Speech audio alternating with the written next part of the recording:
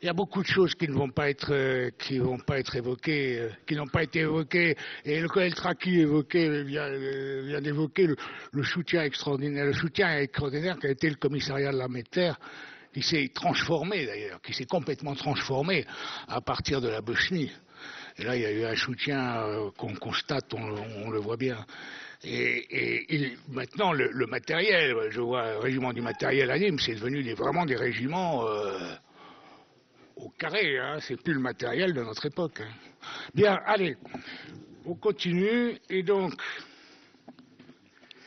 ben, le colonel Traki a introduit le général Traki. Non, mais attends, je suis resté un, quart de siècle en arrière. général Traki de la Danjou. de la Danjou. Bon, a introduit euh, la parole que va prendre euh, le colonel Goya.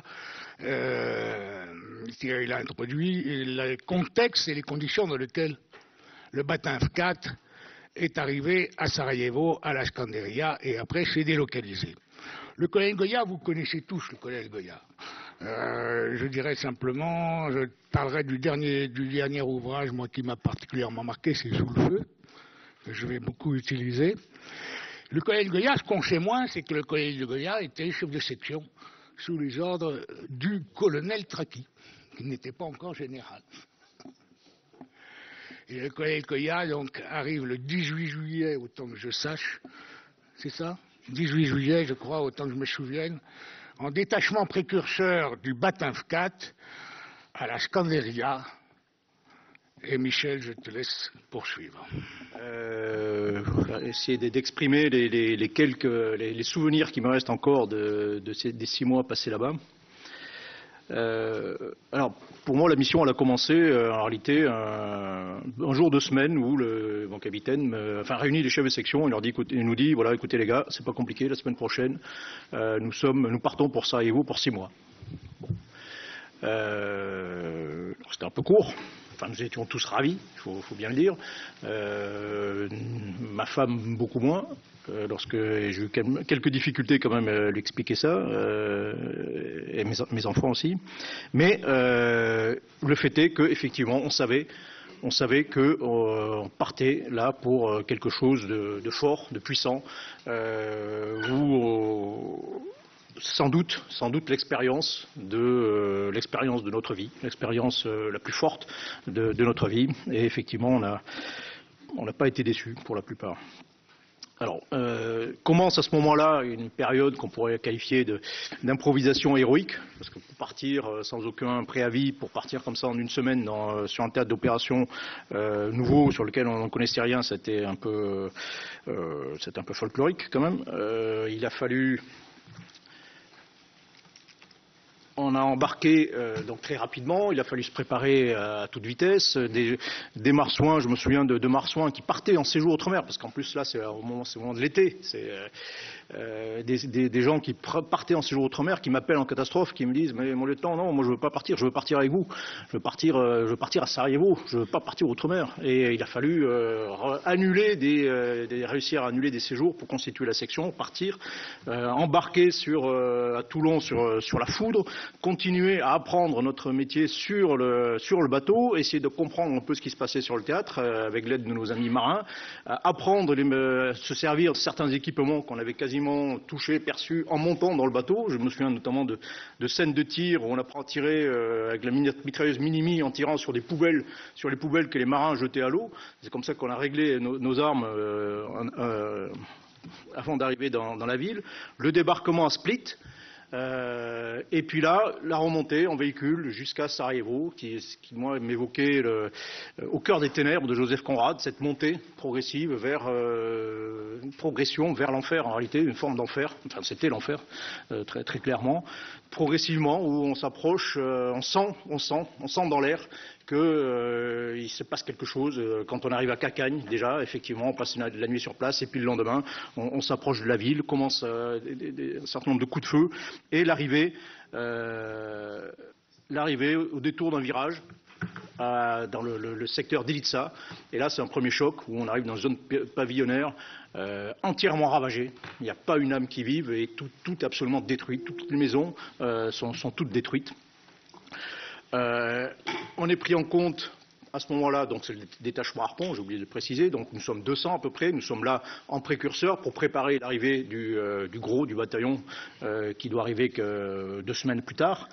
Et euh, nous sommes pris en compte par le régiment qui est déjà sur place, le bataillon qui est déjà sur place euh, à l'aéroport, le deuxième régiment étranger de parachutistes, qui nous prend en compte. Et là, il nous, euh, nous amène jusqu'à notre secteur, qui sera le, secteur Scanderia, le cercle noir sur, sur la carte.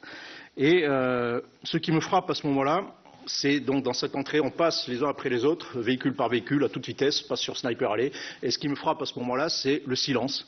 Euh, j'ai l'impression d'entrer dans quelque chose qui est beaucoup plus onirique que réel, avec une ville euh, quasiment déserte. Vous voyez quasiment personne, au moins sur Sniper Alley, qui est certainement l'endroit le plus dangereux du monde à, ce moment-là.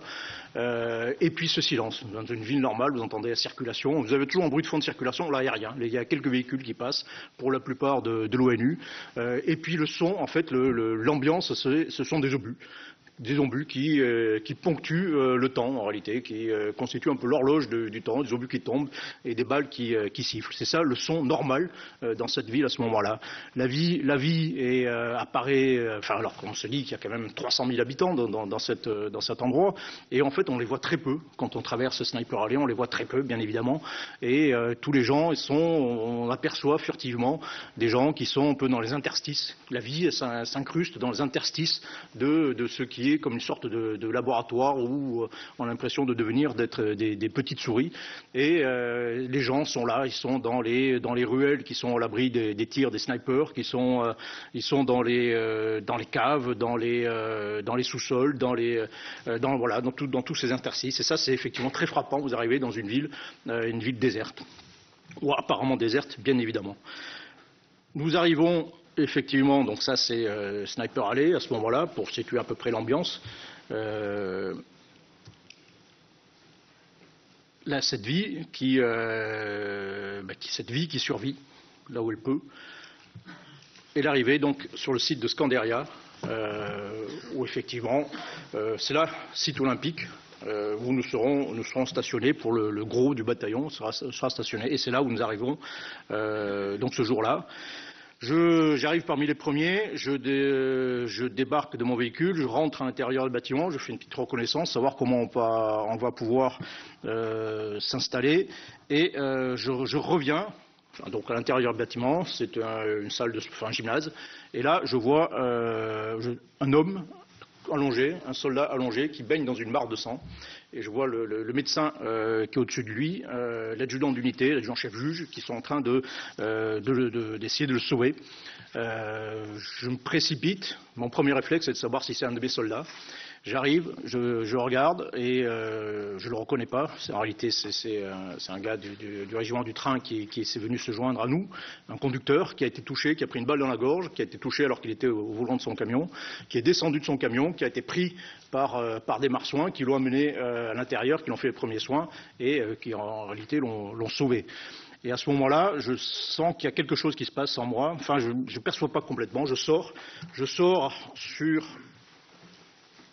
la terrasse qui se trouve ici. Et là, vous avez donc tous les véhicules qui sont ici et les, soldats qui sont en train de faire une chaîne et en train de décharger tout le matériel.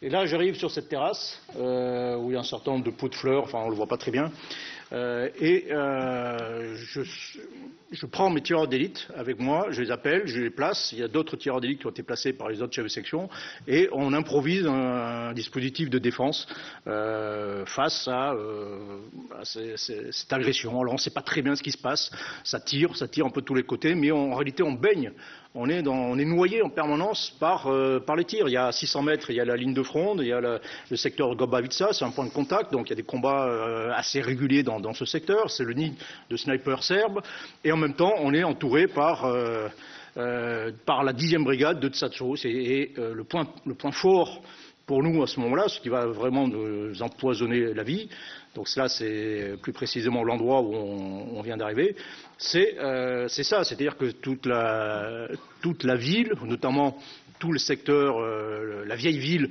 euh, de Sarajevo est tenu par des, mafieux, des seigneurs de la guerre, qui tiennent des, quartiers. Donc ça s'est tiré d'une bande dessinée qui, euh, qui, relate la vie à Sarajevo sous euh, ces seigneurs de la guerre, les, euh, les Cello, les Yuka et particulièrement Tsatso, qui est le seigneur du quartier dans lequel nous sommes, euh, nous sommes implantés.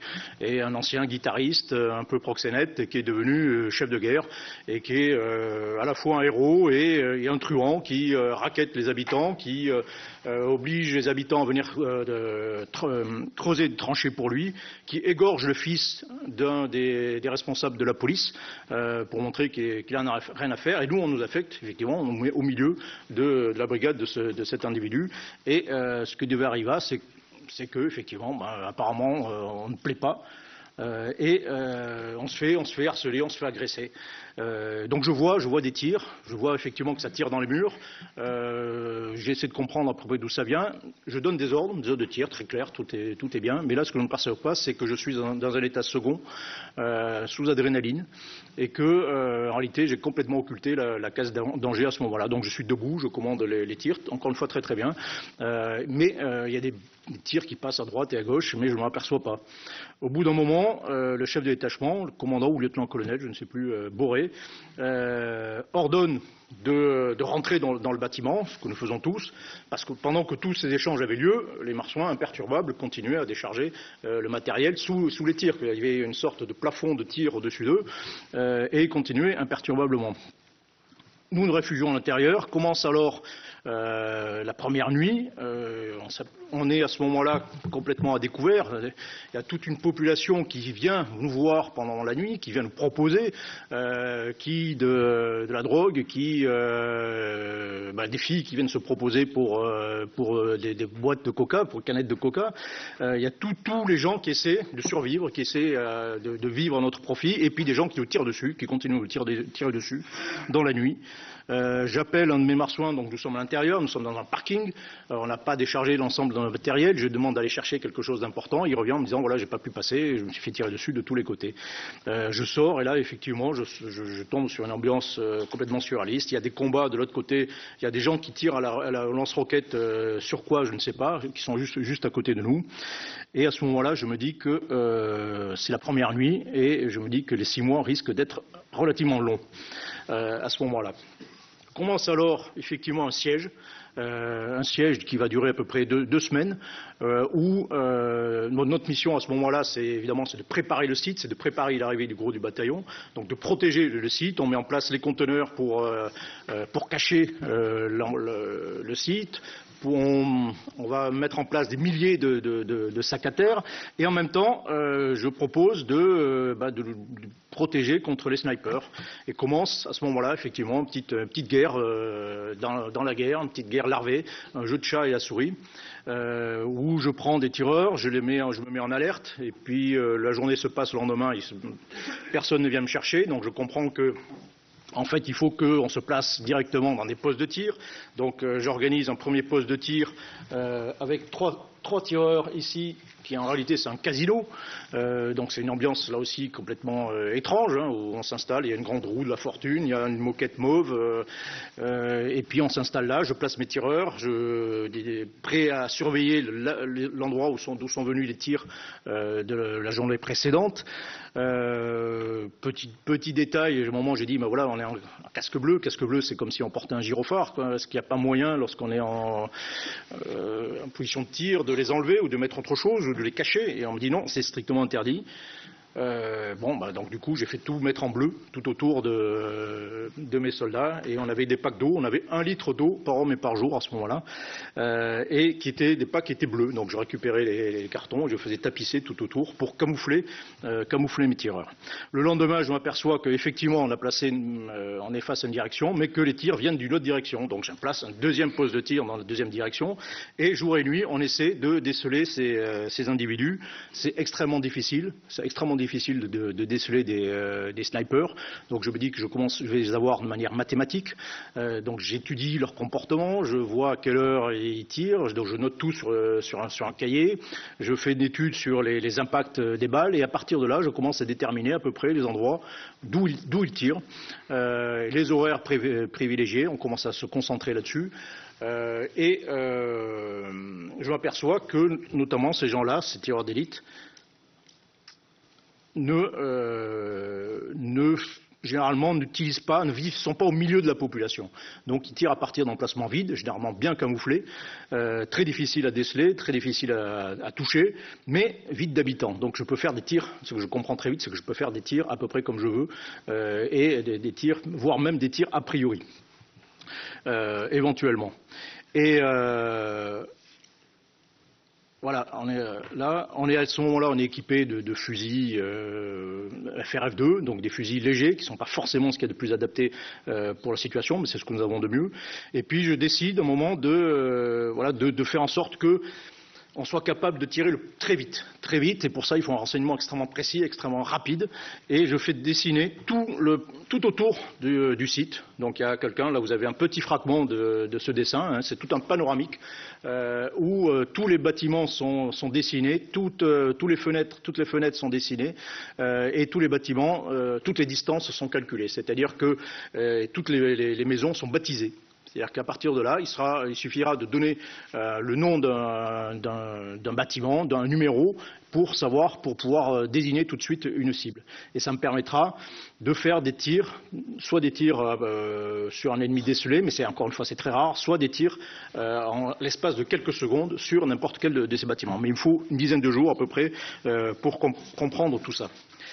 En même temps, donc ça, ça dure à peu près une dizaine de jours. Et puis, euh, effectivement, pendant toute cette dizaine de jours, on est relativement efficace dans la mesure où aucun, aucun marsouin n'est touché. Euh, nos systèmes de protection fonctionnent. Les gens, euh, l'ennemi prend des précautions. Il est, il est obligé de se, de se camoufler lui aussi, de tirer un peu plus loin, de tirer plus, plus difficilement.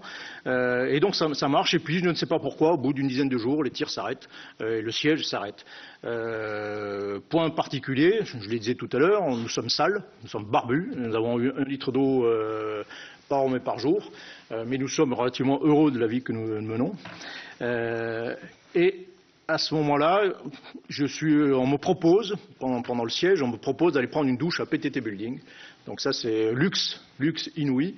Et je suis, ce qui m'a marqué, c'est que j'étais obligé de monter une opération pour aller prendre une douche à PTT Building. C'est-à-dire que j'étais obligé de placer des tireurs d'élite en protection, d'envoyer mes pilotes pour chauffer les véhicules avant, pour qu'on parte très rapidement, par faire partir mes marsouins courant euh, avec une serviette sous le bras, courant jusqu'au euh, VAB, monter dans le VAB, foncer jusqu'à PTT Building, prendre la douche, revenir, là dispositif inverse, euh, des tireurs d'élite qui se replacent, qui se remettent en position et des gens qui recourent pour, pour rejoindre le bâtiment. Mais c'était quand même assez sympa. Donc au bout d'une dizaine de jours, pour une raison qui m'échappe, euh, le siège s'arrête de certaine façon, le tir de harcèlement s'arrête, le gros du bataillon euh, arrive à ce moment-là. Euh, une dernière mission qui nous est confiée au moment où le bataillon arrive, c'est de, euh, de, protéger déjà l'arrivée du bataillon. Et puis, euh, une mission très particulière qui m'est confiée, c'est au moment où les véhicules arrivent, notamment des camions avec des remorques, j'ai un groupe qui doit partir pour décharger, ça se passe de nuit, pour comment dire, enlever la remorque et récupérer la remorque et la placer à un endroit particulier. Une mission assez, assez simple, mais je m'aperçois que, au fur et à mesure que, à chaque fois qu'un camion arrive, les gars partent et se font tirer systématiquement dessus. C'est-à-dire que je m'aperçois qu'il y a quelqu'un qui est mal placé, qui tire assez mal, euh, probablement avec une Kalachnikov, c'est pas précis, mais systématiquement il tire, il tire sur mes gars. Et donc pendant euh, 10 fois, 20 fois, 30 fois, mes gars vont repartir, sachant qu'ils vont systématiquement se faire tirer dessus à chaque fois, et ils y vont à chaque fois. Arrive, euh, je passe une étape, au moment donc de, l'arrivée euh, du, gros du bataillon, la constitution du bataillon, euh, le colonel Traki à ce moment-là donne son, premier ordre, l'ordre d'opération numéro 1, et on décide, décide de pratiquer effectivement la méthode de, l'îlotage. Très concrètement pour moi, ça se, concrétise par un appel, on me dit voilà, on me trace une, une olive sur la carte, voilà ton secteur, dans six mois, tout le monde doit pleurer en te voyant partir. Bon, euh, d'accord. Euh, et puis, et donc là commence une autre étape où effectivement on essaie de prendre contact euh, pour franchir les rideaux de milice, prendre contact avec les gens qui parlent français si possible, qui parlent anglais, puis essayer de voir comment on peut aider ces gens-là avec nos moyens, qui ne sont pas des moyens d'affaires civiles, hein, qui sont des moyens d'unité de combat, comment on arrive à, à aider ces gens-là. Et puis on y arrive, effectivement. Euh, non seulement on va distribuer une partie de notre alimentation, euh, de, l'eau, du gasoil, une partie des éléments qui sont, euh, qui sont pour nous. On va distribuer, on va, je vais organiser des raids pour euh, un raid pour aller récupérer des manuels scolaires qui sont entreposés quelque part. Euh, donc on va aller, les, on va monter une opération pour aller récupérer ces manuels et les ramener dans ma, dans ma zone de, de responsabilité. on va monter des spectacles de marionnettes. là aussi, ce sont de vraies opérations de, quasiment des opérations de combat à chaque fois, jusqu'au, alors je continuerai ces missions, je changerai de fonction pendant, j'y reviendrai pendant au cours de la mission, mais je continuerai à organiser les choses jusqu'à la construction d'un gazoduc, euh, gazoduc à la fin, à la fin du, mandat. Tout ça constituait une sorte de pont de la rivière Kouai, hein, ça donnait un sens à ce que nous faisions, nous agissions au lieu de subir, euh, telles les souris que, que j'évoquais tout à l'heure, de laboratoire, au lieu de subir, nous agissions, nous faisions quelque chose, et accessoirement, on aura tiré beaucoup de bénéfices d'abord psychologiques, puis ensuite en termes de renseignement, et en réalité, la population nous a protégés euh, un certain nombre de fois, nous a alertés un certain nombre de fois, et ça a évité un certain nombre, euh, un nombre d'écueils.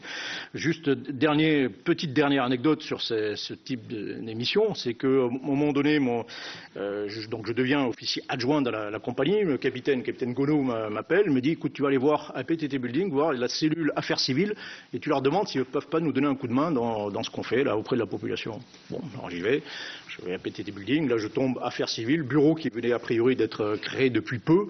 Et là, je tombe sur deux, euh, colonels, je leur explique euh, ce que nous sommes en train de faire. Et là, j'ai cette réponse absolument magnifique.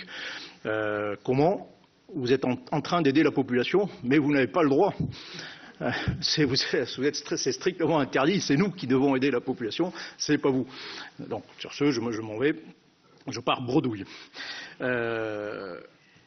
La, la, situation change euh, radicalement enfin, avec la mission sur le mont Igman. Donc le mont Igman, euh, bon, ça a déjà été évoqué, je ne reviens pas sur, les détails, mais l'idée c'est quand même de prendre la position à la place des Serbes. Donc les Serbes progressent, s'arrêtent, négocient, on prend leur position, on fait un petit peu leur boulot quand même, euh, et eux dégagent, dégagent, leurs unités de choc pour éventuellement les engager ailleurs. Et donc la première unité, donc c'est l'unité du deuxième euh, régiment étranger qui, va prendre tout de suite la position, et nous nous sommes chargés de, de les relever quelques jours plus tard. Je fais partie, je suis avec le capitaine Jacono, on part en mission de reconnaissance. Et là, euh, donc on arrive pour voir à peu près la, situation. Et là, je tombe sur euh, une vision absolument apocalyptique où euh, je vois, enfin, voyons, nous sommes trois, euh, au milieu de centaines de, de, de, de, Serbes en train de brûler tout ce qui est brûlable dans la région. Donc euh, vous voyez ce, cet hôtel que, que l'on voit sur, sur, la photo, moi je l'ai vu entier, et donc j'ai vu des gens arriver et, et, mettre le feu. Et donc vous avez, arrivé dans un endroit où toute la montagne, toute la montagne était en flammes. Euh, et encore une fois, tout ce qui était euh, pour être détruit avait été, été en train d'être détruit. Donc j'ai l'impression d'être au milieu de barbares euh, qui passaient devant nous en riant euh, et qui, qui détruisaient, qui, voilà, qui ravageaient complètement, le pays. Nous nous installons, nous arrivons avec la compagnie euh, une semaine plus tard, et euh, effectivement, euh, nous installons un dispositif sur, un, sur, une zone de corps d'armée. Donc nous sommes une compagnie sur, euh, sur une zone de corps, d'armée pratiquement. Euh, là, deux anecdotes. La première, c'est que je, moi j'ai la responsabilité de la route qui va d'en bas, du carrefour de Krupak, en bas jusqu'au euh, jusqu'au plateau. Donc nous sommes une vingtaine pour tenir une route immense. Et puis on m'a dit voilà, tu dois tenir le carrefour en bas. Moi j'y vais, en bon, chef de section d'infanterie, j'installe un groupe de combat sur une position en arrière qui est bien protégé, qui a des vues sur le, euh, carrefour. Et puis euh, on me dit, mais non, t'as rien compris. Rien compris. Tu dois être sur le carrefour. Une mission ONU, tu dois être visible et tu dois être sur le carrefour, au milieu de nulle part, au milieu du désert, et, et tirable de tous les côtés. Euh, bon, d'accord. Donc je suis mis sur, euh, sur le carrefour. Et puis, donc, dans l'émission, au moment. Alors, très rapidement, j'ai combien de temps encore? C'est terminé. Ah non, c'est pas vrai. Terminé depuis 5 minutes. C'est pas vrai. Bah, Paul, oui. Bon, enfin, bon, bon, bref, vous ne saurez jamais alors, exactement ce que. Je terminerai. J'ai pas trop quart d'heure, moi, comme les autres. Euh... Ah, malo, bah, oui, mais... Non, je terminerai. Attaquer Pérez. Ça faut Pérez. Euh, minutes. ouais, ok. Donc je terminais. Bon, effectivement, c'est une mission sur Eggman euh, où le capitaine Jacono, euh, donc il y a des combats assez violents sur lesquels je, passe avec euh, une, unité bosniaque qui, fait pression sur nous, qui s'infiltre jusqu'à nous et qui, euh, abat le, capitaine. Donc là, il y a toute une opération là aussi pour d'abord repousser les Bosniaques, réussir à toucher leur, chef et évacuer le, capitaine qui s'en sort à peu près miraculeusement. bon. Je terminerai juste euh, donc après ce, mandat, donc mon capitaine est, blessé très grièvement. Euh, L'adjoint devient commandant l'unité. Je passe, je change, je, je suis obligé de donner ma section à euh, l'adjudant et euh, moi je prends, le, le, change de, fonction. Et parmi les fonctions que je vais reprendre, va reprendre une nouvelle mission d'anti-sniping. C'est-à-dire que là, on se retrouve dans une situation où euh, on a un caporal-chef au milieu du site de Scanderia que vous avez vu, caporal-chef qui prend une balle dans le ventre, un, un mécano qui était euh, voilà il était en train de réparer un, VAB, il prend une balle dans le ventre, on réussit à le sauver, à l'évacuer, et euh, donc je reçois l'ordre immédiatement de re remettre en place euh, un dispositif anti-sniping. Je vais à l'endroit où le caporal-chef a, euh, a été touché, et là je calcule d'où vient le tir. Donc je prends un télémètre laser, j'imagine que, ce, c'est le tir, et je fais, voilà, je mets exactement la position où il a été touché, je, fais le, et je calcule d'où vient le tir. Je vais voir mes euh, tireurs euh, qui sont dans le fameux casino. Euh, et je leur dis, voilà, surveillez tel endroit. A priori, c'est plutôt, ça vient, de, ça vient de par là. Et eux, ils avaient une lunette astronomique. Euh, à ce moment-là, on était beaucoup mieux équipés qu'au qu début. On disposait de fusils Macmillan, donc des armes, des canons de vin, des armes qui percent les murs. C'est ça, qui tirent loin précisément et qui percent les murs. Et au moment où ils observent, donc quelques minutes après, ils voient effectivement un tireur qui sort et qui leur tire dessus à eux, à eux qui les rate. Et, et ils me rendent compte, ils n'ont jamais compris qu'ils pouvaient tirer euh, tout de suite, hein, mais à chaque fois ils me demandaient l'autorisation, je leur donne l'autorisation de, de, tir et ils tirent et détruisent le, le, poste. Pour la petite histoire, j'y vais le lendemain, alors, je fais une patrouille, pour, j'étais persuadé que c'était des, euh, des, Serbes qui nous tiraient dessus. En réalité, c'était un poste musulman qui était en limite. Et euh, voilà, très probablement, ils avaient joué là-dessus pour nous faire croire que c'était euh, l'ennemi. Autre anecdote euh, dans, dans, cette campagne qui va durer plus d'un mois, euh, campagne de tir, de, de, lutte contre les snipers, euh, où on m'appelle un soir. Donc j'ai remarqué que le soir, ils ne tiraient pas normalement. Bon, donc on démontait le dispositif euh, le, dans la soirée. Euh, et on m'appelle et on me dit, voilà, je me suis fait sniper. Bon, je dis, d'accord, et vous pensez que ça venait d'où? Ben, Je pense que ça venait du bâtiment qui est là, en face. Donc là, vous avez à peu près 80 mètres. Euh, ah bon, bon, d'accord. Donc je prends un tireur d'élite avec moi, on, on, fonce et on s'installe dans le casino qui est là. Euh, donc en face, en face du bâtiment. Donc la, nuit vient de tomber, moi je prends ma, ma jumelle de, de, de, nuit et je commence à balayer le, le, le, bâtiment et puis je vois dans une fenêtre, effectivement, je vois quelqu'un avec une Kalachnikov qui tire, qui tire sur les, les sentinelles qui sont, qui sont en bas, qui rate bien sûr, euh, heureusement. Et euh, donc tout de suite, on se remet sur cette position. Je mets mon tireur d'élite sur, euh, cette, la fenêtre et, on attend, on attend qu'il revienne, qu'il repointe le, bout de son nez. Et puis là, on voit arriver une femme. On voit arriver une femme avec une soupière qui met, une soupière, qui met, le, couvert. Puis on voit arriver un enfant qui, regarde ce qu'il a à manger. Et puis deux minutes après, on voit arriver un homme en civil qui, goûte la soupe, qui discute avec sa femme et qui se met à la fenêtre avec une cigarette. Bon, et là, donc nous, on est à 80 mètres de lui, euh, prêt, euh, prêt à l'abattre. Et là, euh, gros dilemme, qu'est-ce que je fais? Alors, je suis plus dans, franchement dans un état de légitime défense. Euh, euh, est-ce que c'est lui? Est-ce que c'est pas lui? Est-ce que si je tire pas, euh, le risque c'est que si c'est lui, ben, que finalement il reprenne et puis qu'il lui tue un marsouin, auquel cas je serais très mal. Et puis ça s'agite un, peu dans, mon cerveau, mais ce qui, est, un peu surréaliste, c'est que l'endroit c'est la popote du, du chef de corps qui est juste à côté. Et puis, euh, je m'aperçois qu'en réalité, cette situation qui fera la une des journaux en France, euh, devenue banale dans cette, euh, ambiance, que c'est une situation absolument banale, de jugement. Là, je suis en train de juger de la vie, de la mort d'un individu.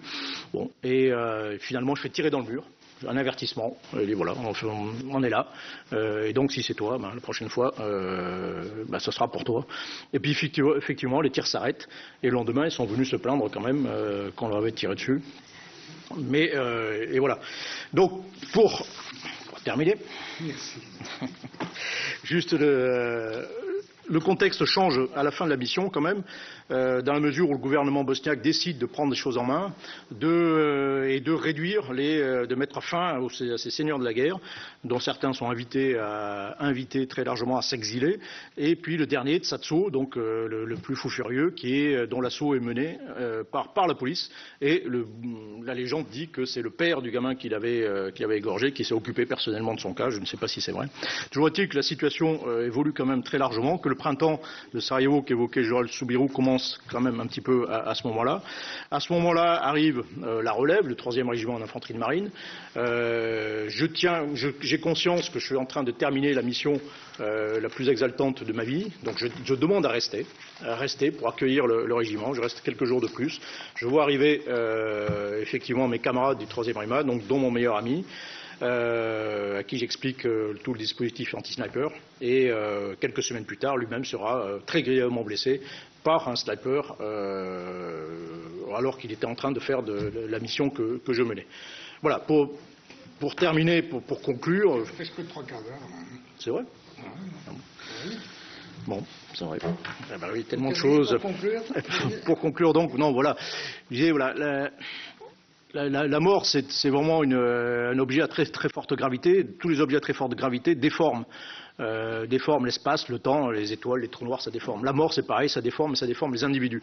Euh, les individus qui arrivent, dans, qui s'en approchent, euh, sont, de, sont, tous, sont tous transformés. Et quand on vit six mois dans une zone, dans une bulle de violence telle que, telle que ça arrive à ce moment-là, on est euh, forcément transformé. Tout le monde n'est pas tué, tout le monde n'est pas blessé, mais tout le monde est, euh, est, est transformé, tout le monde est plié dans un sens ou dans l'autre. Et magie magie des réseaux sociaux. Je retrouve maintenant, euh, plus de 20 ans plus tard, je retrouve euh, tous, les, tous marsouins que j'avais perdus de vue et qui, euh, reviennent, qui sont tous cadras, qui, ont tous une nouvelle vie, une famille, etc. Et la première chose, la première chose dont on parle, c'est de, euh, Sarajevo. Pour évoquer d'une part les Human, et la période fin 95 que le général Gobillard a évoquée, où le 7e et le 27e BCA, c'est-à-dire le bataillon 5, troisième mandat, un bataillon qui avait été constitué euh, justement pour remplacer les, les, unités du 4 qui n'en pouvaient plus de monter là-haut. Donc un bataillon qui avait été constitué pour euh, tenir une zone démilitarisée entre Bosniaques et Serbes. Et ce bataillon, bon, je résume, mais ce bataillon va être pris dans une véritable bataille, dans une véritable bataille euh, entre euh, Bosniaques et Serbes, Bosniaques qui reprennent, qui veulent reprendre et qui reprendront euh, la partie de terrain qu'ils avaient concédée euh, aux Serbes. Et j'en arrive maintenant à la poche de Biatch avant de passer la parole Jean-Luc Michelet qui d'une manière différente reviendra sur cette poche de Biatch. Donc François Crémieux, actuellement directeur des hôpitaux de nord de Paris, n'a pas pu venir. Il était appelé au 24e régiment d'infanterie et il se porte volontaire pour l'ex-Yougoslavie et il va arriver en mai 94 dans la poche de Billac avec le bataillon 3 ou le bataillon d'infanterie de Billac, ce deuxième bataillon qui a été constitué suite à la résolution, suite à la conférence de Londres et à la résolution qui demandait, qui euh, autorisait le renforcement et qui avait le chapitre 7 d'ailleurs. Non? Non, il n'y avait pas, oui. Et donc, qui demandait, qui euh, autorisait le renforcement des, le la protection des convois humanitaires. Et donc, ce bataillon euh, va s'implanter. Donc, ça c'est important aussi. Va, va, trouver deux, lieux, deux, sites d'implantation. Koralichi au nord de Biac et euh, Velika Kladuza qui est au euh, nord de cette poche, euh, pratiquement à la frontière avec la, Croatie et donc avec euh, les Serbes de, Kra, de Krajina. Velika Kladuza appartenait, ce bataillon, on ne sait pas comment ça a été négocié, mais la Fort Pronu a installé ce bataillon dans un site industriel, dans une friche industrielle qui appartient à Fikret Abdish. Abdish qui est un potentat mafieux qui va faire dissidence euh, qui va créer une sorte de zone autonome et qui va faire dissidence euh, par rapport au gouvernement bosniaque. Et donc ce Batinfkat, pour résumer, il va se trouver pris, d'une part, il va avoir ses missions de, convoi de protection de convoi humanitaire, d'autre part, il va cette donnée, ou ça je ne me souviens plus, mais cette donnée ou avoir reçu les missions d'observation euh, sur euh, les Serbes de, Croatie, donc des postes d'observation qui sont toutes sur la, sa zone ouest, et puis il va se trouver, de fait, progressivement interposé et pris dans l'espèce d'engrenage entre les miliciens de Fikret euh, qui tentent de conserver leur autonomie et le 5e corps bosniaque qui tente de récupérer le terrain. Voilà un bataillon qui, de fait, va se trouver interposé. Et c'est cette situation surréaliste un peu que va décrire et que décrit euh, François Crémieux dans euh, Paris Biatch. Mais pour gagner du temps, moi je ne peux pas parler à la place des, à la place des gens, on ne peut pas parler. Il y a quelques situations, je les citerai tout à l'heure. Je les citerai tout à l'heure. On ne peut pas parler de ce qu'il a, de ce qu'il a vécu. Je vais maintenant euh, passer la parole à, je vais euh, entendre maintenant Jean-Luc Michelet, Jean-Marc Michelet, pardon, qui dans des circonstances douloureuses, euh, je vous laisserai, je vous laisserai les exposer éventuellement, enfin les évoquer, qui dans des circonstances douloureuses a été amené à s'intéresser au traumatisme et au post-trauma, au trauma et, post-trauma de, guerre euh, des soldats euh, en Bosnie. Au trauma et aux sources, aux sources, aux sources, aux sources, aux sources, aux sources des traumatismes. Mesdames, Messieurs, bonjour. Euh, on va rentrer directement dans le lit du sujet. Le 15 mai 1995, à peine âgé de 21 ans, David, mon frère, mettait fin à ses jours la guerre en ex-Yougoslavie s'imposait dans sa plus dramatique réalité à sa famille, à ses proches. Dès lors, il me fallait comprendre, comprendre pour donner un sens à cet événement, le replacer dans une histoire. Pour y répondre, il me restait un album photo, quelques souvenirs éparses. Il me fallait aller plus loin, c'est pour ça que je me suis tourné vers le témoignage, les entretiens et les publications médicales pourrait essayer d'y répondre. Il n'est pas lieu ici de reprendre ce qui a pu être décrit, je reviendrai sur certains points, mais d'appréhender la rencontre d'un soldat avec ce qu'il va juger comme un non-sens, l'effroi, au point de le faire basculer dans un univers qu'on pourrait qualifier de mort-vivant. D'abord, il faut qu'on se mette d'accord sur ce qu'est le trauma et le post-trauma. C'est une notion dont on parle énormément actuellement, mais le, terme est un peu ambigu. Euh, déjà, il faut identifier le traumatisme à une situation spécifique. C'est le fait de se voir mort. Euh, c'est le fait de subir une situation qui va vous mettre en situation d'effraction de votre personne. Évidemment, dans la même situation, certaines personnes ne seront pas traumatisées. Tout ce qu'on va retenir, c'est qu'un nombre significatif de personnes dans une situation donnée vont développer un traumatisme. De même, on va se mettre d'accord, trauma et traumatisme ne sont pas synonymes. Le trauma, c'est la blessure, c'est le moment où il y a effraction.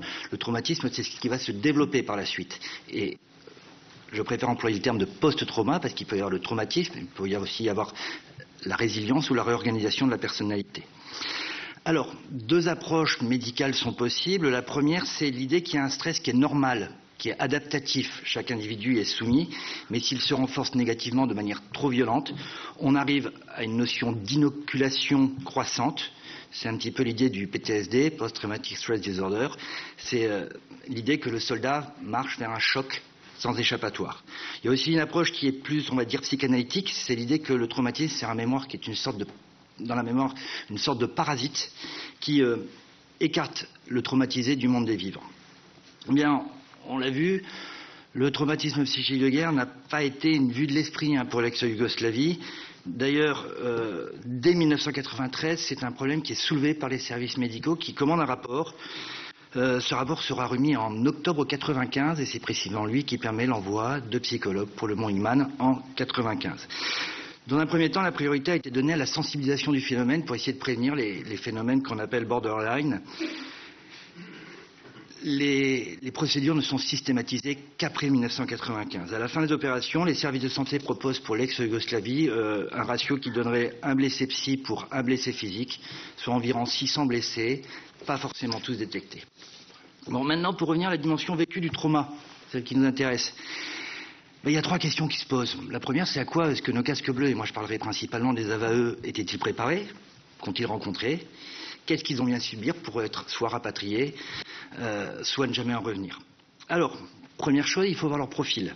Ils sont jeunes, ils sont même très jeunes, 23 ans en moyenne, ils sont volontaires. Tous se considèrent extrêmement bien entraînés, il y en a même qui se disent pro. Euh, évidemment, tous ceux qui ont été envoyés là-bas ont été jugés psychologiquement et physiquement aptes. Ils sont volontaires. Certes, maintenant, il faut peut-être voir les motivations. Euh, moi, je m'intéresse à un triptyque qui est assez simple. Argent, aventure et humanitaire. Alors l'argent, c'est pas compliqué à comprendre. Hein. Pour un jeune euh, d'année 90, ça pouvait aller jusqu'à 2500 euros. Je sais plus le chiffre en francs, mais c'était quelque chose qui pouvait être intéressant. L'aventure. L'aventure, déjà, il y en a certains qui voulaient s'engager. C'était un moyen de se tester, de voir si on était fait pour ça. C'était aussi pour beaucoup de cette génération-là un moyen de se mettre à la hauteur d'un père, d'un oncle ancien d'Algérie. La croisade. Euh, le syndrome Kouchner.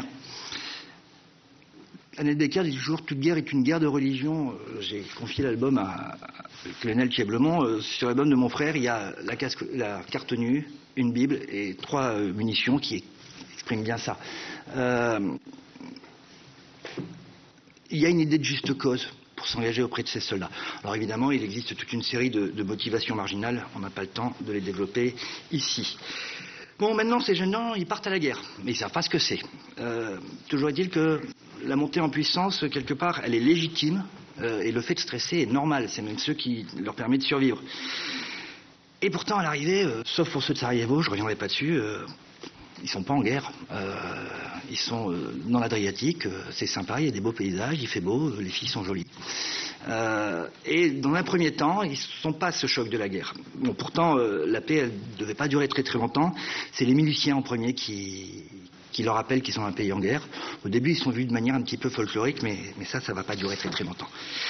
Euh, bien plus, tous, tous ceux que j'ai pu rencontrer le disent, c'est la vision des ruines qui pour eux est la, première rencontre avec la guerre. C'est un aspect qui est surreprésenté dans l'album, mais c'est aussi quelque chose qui revient systématiquement hein, dans une forme d'imaginaire. D'imaginaire, certains disent c'est Berlin en 45, j'ai eu droit au Radur sur Glane, j'ai eu droit aussi à Stalingrad. Euh, je vais citer, euh, qui, n'est pas là, euh, Monsieur Crémieux, pour lui c'est une vision d'enfer sous un soleil accablant, des paysages de désolation. Et c'est dans ces paysages-là qu'ils vont devoir vivre. Ils sont arrivés, ils sont face à une nouvelle réalité qui leur échappait complètement jusque-là, celle d'un camp en, contexte de guerre. Et indépendamment de ce contexte, euh, lui-même porteur de contraintes, la masse de travail imposée va être énorme. Et dès le premier jour, tous disent qu'ils sont dans un énorme état de fatigue. Le sommeil se perd et assez rapidement, ça va devenir une de leurs priorités, essayer de récupérer ce sommeil. Euh, alors le travail, on creuse des trous, etc. Vous l'avez bien montré, etc. le plus gros de la mission, du travail, ça va être la mission. On y reviendra euh, un petit peu plus tard. Alors, on parlait de la fatigue, il ne faut pas oublier non plus euh, qu'on est face à des conditions climatiques qui avaient été largement sous-estimées et, auxquelles ils ne s'attendaient pas. En plein été, casques gilets pare-balles sont difficilement supportables et tous disent que les AAB devenaient de véritables fours incontournable aussi euh, les conditions climatiques les plus banales en temps de paix peuvent prendre des allures de cauchemar. On pense pour ceux qui étaient en observation quand il commençait à pleuvoir, les abris étaient pleins de boue, c'était deux, trois jours sans sommeil.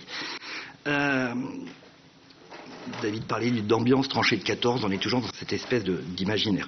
Euh, et là, je reviens aussi au mont Inman. Hein, ces conditions sont sans commune mesure avec l'hiver yougoslave. calvaire pour les chauffeurs. Je vous rappelle que le verglas est officiellement à l'origine de la mort de neuf casques bleus. Euh, pour on est carrément dans des conditions polaires. Euh, pourtant, ils ont bien dû vivre, ils ont bien dû s'adapter à ce nouvel environnement. Je serais tenté de dire, ils ont été tenus de creuser leurs trous, tenir, donc je disais, malgré la fatigue. Alors comment est-ce qu'on tient? On tient euh, déjà, pour tous qui le disent, grâce à l'arrière. Avoir des lettres, recevoir des colis, c'est absolument essentiel pour le moral. Inversement, ne pas en recevoir peut rapidement vous faire plonger dans, le blues, dans, le cafard.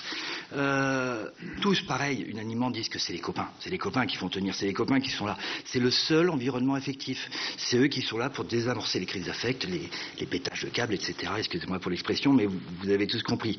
Parfois, un seul, c'est dans l'album, un seul par son dynamisme peut faire tenir, je cite, parce que ça en dit long, éreinté par le stress et la fatigue, lui seul pouvait nous remonter le moral il y a les copains qui sont là, c'est quelque chose d'important. Qu'il ne faut pas négliger non plus les fêtes, fêtes religieuses, anniversaires, euh, autres. Ben, c'est un moyen de rompre le, quotidien, c'est aussi le moyen de picoler un peu. les hommes l'attendent, c'est plaisant. Je crois que le fin du fin, quand il y a les c'était de partir en, en perme à Zagreb. Pour eux, ils le disent carrément, euh, on était dans un pays en paix, on pouvait draguer, on pouvait euh, s'habiller normalement pour des volontaires, évidemment, normalement c'est en civil, draguer, passer un coup de fil, etc. Bref, il y en a un qui dit Zagreb, c'était le paradis. Euh, l'autre avantage de la capitale croate, c'est aussi la, possibilité de se réapprovisionner euh, en quelques logistiques pas forcément euh, ONU, c'est-à-dire l'alcool. Pourquoi pas aussi les, substances illégales et les cigarettes. mais quand on parle de l'alcool et des substances illégales, la question est plus de savoir si on tient, mais si on n'est pas en train de fuir quelque chose. Euh, les médecins sont d'accord, quand le boire se sépare du manger ou quand la consommation de cigarettes commence à devenir excessive, c'est qu'on est dans un vécu peut-être pas traumatique, mais au moins anxieux. Les casques bleus n'échappent pas à la règle, tous reconnaissent que leur consommation à, l'époque avait été particulièrement élevée.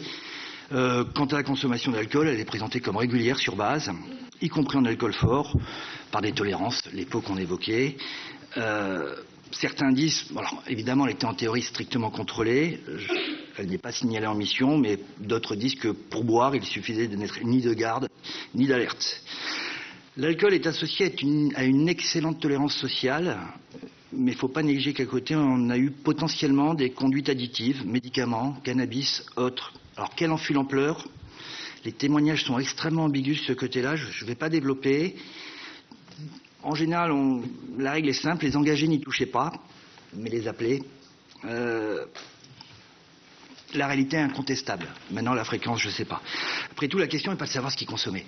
La question est de savoir pourquoi est-ce qu'ils consommaient. Qu'est-ce qu'on essaye de fuir? Euh, Qu'est-ce qui peut pousser un individu à se mettre dans des états seconds bah, En premier lieu, il y a peut-être euh, les particularités d'une situation opérationnelle compliquée on l'a développé. Je reviendrai juste sur un point, sur deux points. Hier, on l'a vu, la, remise du béret bleu est un moment extrêmement important. Ils y croient.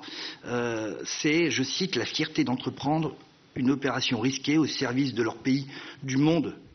Nous sommes onusiens pour de bons. Alors là, il leur manque plus que le baptême du feu. Ils vont assez vite l'avoir. Euh, être en poste en Bosnie, et bien sûr il y avait l'approvisionnement en munitions, en cartouches, etc. Alors, être en poste en Bosnie, Croatie, Sarajevo, c'est pas du tout la même chose. On est bien d'accord. Euh, Sarajevo, vous l'avez développé. On est dans un contexte de guerre totale. Pour ceux de Croatie, de Bosnie occidentale, l'immersion est un petit peu différente. Alors, euh, certains disent qu'ils étaient en général accueillis par des coups de feu, une sorte de, bienvenue locale, un bisutage en quelque sorte. Mais il arrive aussi que l'intensification des combats euh, fasse qu'ils soient obligés un petit peu de s'adapter à ce qu'on appelle des combats dits de basse intensité. Euh, ça, c'est le cadre général. Certains ont pu être soumis à un surplus d'agression, c'est le cadre des mines et euh, des tirs d'artillerie. Alors, les mines sont extrêmement mortifères, particulièrement mutilantes. En général, tous disent que dès qu'ils voient mine, ils reculent. Euh, je les crois sur parole. L'artillerie, c'est un autre facteur de stress. Alors, c'est un stress qui est évidemment inhérent, accepté, lié à un déploiement sur zone, mais être soumis à ce que Barbus appelait le feu, c'est une expérience qui laisse des traces, qui peut pousser les individus en état de stress dépassé. Alors, évidemment, ce stress dépassé, encore une fois, ne dépoche pas forcément sur une pathologie durable, mais pour certains, euh, l'expérience peut être impossible à évacuer et elle débouche carrément sur les cauchemars de répétition. Euh, là, on est dans le traumatisme. Je cite, même dans le sommeil, les obus explosent dans la tête. Là, les, soldats commencent vraiment à être marqués. Alors, on a ces, contraintes qui sont propres à toutes les zones de front. On va avoir en plus une, dégradation des conditions de vie et de circulation, des états de tension extrêmement difficiles à gérer. Euh, leur liberté de mouvement est limitée, ça vous nous l'avez bien montré, que ce soit à Sarajevo, 93, 94, 95, Bihac, 94. Mais ça entraîne une désorganisation de la logistique. Pour le soldat de base, il peut y avoir un sentiment d'abandon. Euh, mes camarades et moi, je cite, imaginions les pires scénarios, combien de temps tiendrons-nous? Et puis, euh, les rapports avec les miliciens se dégradent très vite. Et ça, j'y reviendrai plus précisément. Juste, ça vous en avez tous parlé, c'est le moment où, intervient la permission. En général, quand les soldats sont dans cet état-là, c'est la permission et c'est un moment qui va être réellement catastrophique. C'est une pré-libération. Ils sont trop contents d'y être. C'est génial. C'est le bonheur. On va dormir, on va se reposer, on va vivre. Mais en fait, le maintien en milieu opérationnel permet à un individu de tourner en routine. Il reste dans son état de saturation, mais il ne décompense pas. En revenant dans une ambiance normale, je mets des guillemets, il va y avoir une boulimie de vivre. Mais ça peut être aussi une libération de tension nerveuse. Et pire, pour certains, les cauchemars de répétition qui sont jugés comme normaux au front vont entretenir l'angoisse de repartir. Beaucoup de ceux que j'ai rencontrés, euh, quand ils parlent du retour, ils parlent d'un retour à l'enfer, ils parlent d'un retour pénible, ils parlent d'une ambiance sordide. Je vais même aller pire. Hein. Je vous rappelle que le 1er octobre 1993, le maréchal de logis Vincent alors habitude des sources médicales, je ne donne que les prénoms, euh, victime d'un traumatisme psychique, mettait fin à ses jours lors d'une permission en France. Donc la permission va même pousser jusqu'au suicide. Suicide pour pas revenir en enfer. Enfer, c'est quand même une curieuse expression pour désigner une mission aussi noble que s'interposer au nom de la paix, porter assistance, rendre compte. Alors officiellement, d'accord, c'est une mission d'interposition, c'est un fait, mais sur le terrain, on l'a bien vu, c'est beaucoup plus virtuel. Chose qui va être compliquée, euh, tous étaient persuadés que leur présence, la couleur de leur casque, éventuellement leurs armes, permettrait de faire changer les choses. Euh, de fait, le maintien de la paix fut souvent limité. Alors, quant à la mission d'interposition, je préfère vous donner l'expression très cynique qui m'a été donnée une fois. Nous étions des hamburgers, deux tranches de pain au milieu de la viande, de préférence cuit bleu. Euh, s'interposer, d'accord, mais entre qui? Euh, Les casques bleus sont neutres, mais ils ont quand même l'impression d'être face à des soudards incontrôlés, armés imprévisibles, qui n'obéissent pas aux ordres. Ils en ont peur, euh, ils s'en méfient, et puis ils finissent par les haïr. Euh, puis sur place, c'est compliqué. Ils apprennent d'abord qu'il ne faut pas dire bosniaque, mais musulman. Si on est habillage, il ne faut pas dire les bosniaques, il faut dire ceux du nord, ceux du sud. Alors comment s'y retrouver? Comment savoir? Et ça, c'est dans l'album, pareil, si on est face à un brave type, un vrai tueur, on ne savait pas qui était contre qui. Ça, c'est quelque chose qui revient régulièrement. Alors, très rapidement, euh, si on ne peut pas comprendre, on va réunir ensemble l'écorcheur locaux, vous l'avez dit ce matin, fou furieux, vous pouvez mettre tous les adjectifs. Pour les bosniaques, j'ai noté qu'on pouvait aussi les appeler bousniouk ou bousnioul. Euh, mais au moins, c'est un gros avantage. Si on les met dans un même sac, euh, tous cinglés, et nous au milieu. Maintenant, dire que les casques bleus n'avaient rien compris, c'est pas tout à fait juste. Il faut quand même le rendre une chose, c'est qu'ils avaient bien compris que l'usage de leurs armes leur était interdit. Et ça, les miliciens aussi l'avaient très bien compris. Alors bien sûr, vous l'avez montré, il, y a eu des engagements, mais ils restent limités. Et pourtant, euh, ça, les médecins le disent. Engager à riposte aurait sans doute permis de résoudre de manière exutoire, et je reprends l'expression, l'humiliante neutralisation de leur supériorité technique. Et ça, c'est un témoignage que j'ai recueilli. Nous étions meilleurs qu'eux, mais nous ne pouvions rien faire, c'était à n'y rien comprendre. Armés mais privés du pouvoir d'injonction, ils s'interrogent sur les motifs de leur présence. Après tout, ne seraient-ils que des pions, des petits figurants impuissants?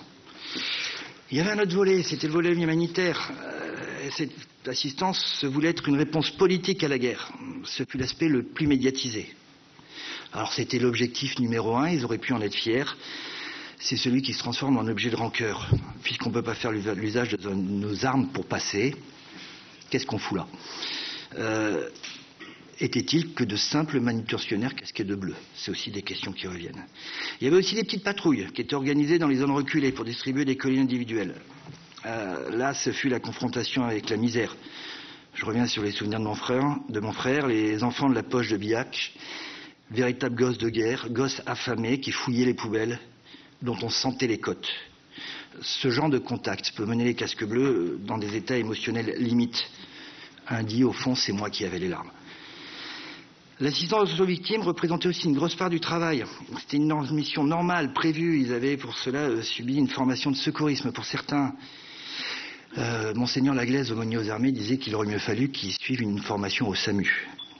Euh, mais encore une fois, on s'habitue. Soigner un blessé devient un geste technique, voire souffrir banal, mourir aussi, y compris les enfants. Et enfin, on avait, ça a été décrit tout à l'heure, la prise en charge des personnes, les réfugiés. Il y a une expression d'un vieux roman qui était Tu porteras mon deuil. C'est sans doute l'expression qui illustre le mieux le choc reçu par ces jeunes gens qui ne connaissaient que la paix et le confort. Elle est vécue comme une impression de reculer dans le temps, un spectacle poignant, effrayant. Et là, certains avouent être dépassés par ce qu'ils appellent l'absurdité de la guerre. D'autant que dans ce genre de mission, les victimes sortent de leur anonymat. Et là, le casque bleu a un peu le sentiment de les abandonner à un triste sort. Et ce triste sort, il le connaît très très bien. Vous avez parlé tout à l'heure de l'observation. Ils y sont de manière régulière en différents points de la ligne de front. Ces missions sont déstabilisantes. Ils sont isolés, loin de leur poste. Et puis surtout, ils sont face à l'horreur. Je reprends la citation face à l'horreur. Je supporte le bruit, les combats, le bruit des balles et des obus. Ils sont réduits à observer l'inobservance d'un cessez-le-feu que de toute manière ils ne sont pas capables de faire appliquer. En bref, ils comptent les coups. Euh, cette guerre, ils pouvaient aussi l'observer en patrouille que ce soit à pied ou, en VAB. Et là, je reprends leurs expressions, on allait au résultat, on cherchait à attendre les meilleurs points de vue pour regarder la guerre, à se sentir aux premières loges. Et puis là, il devait rendre compte, rendre compte de massacres où tuer était une fin en soi. Euh, je ne reviendrai pas sur euh, tous les détails. En clair, il découvrait simplement la réalité de la purification ethnique, et cela sans pouvoir intervenir. Dans ce contexte, il n'est pas étonnant de voir ces soldats équipés d'armes inutiles perdre leurs éditions. Ne pas broncher, ne pas réagir aux insultes, aux crachats, aux pierres jetées, prendre sur soi face à l'horreur. Ils commencent à comprendre que le principe de légitime défense les condamne à devoir tout supporter. Pourtant, ils gardent espoir que s'il faut passer, ils passeraient, qu'il y avait une limite à tout ça. Pourtant, de ça aussi, ils doivent oublier. Euh, face à des bandits du grand chemin, une pièce d'artillerie, une merde sur une route, ici, nous avons reculé nous capitulons, nous faisons demi-tour. À la limite qu'ils fassent demi-tour, soit, mais ça veut dire que l'aide n'arrive plus à des populations en détresse. Et là, c'est vécu comme une trahison. Trahison d'abandonner les populations, mais aussi comme une honte.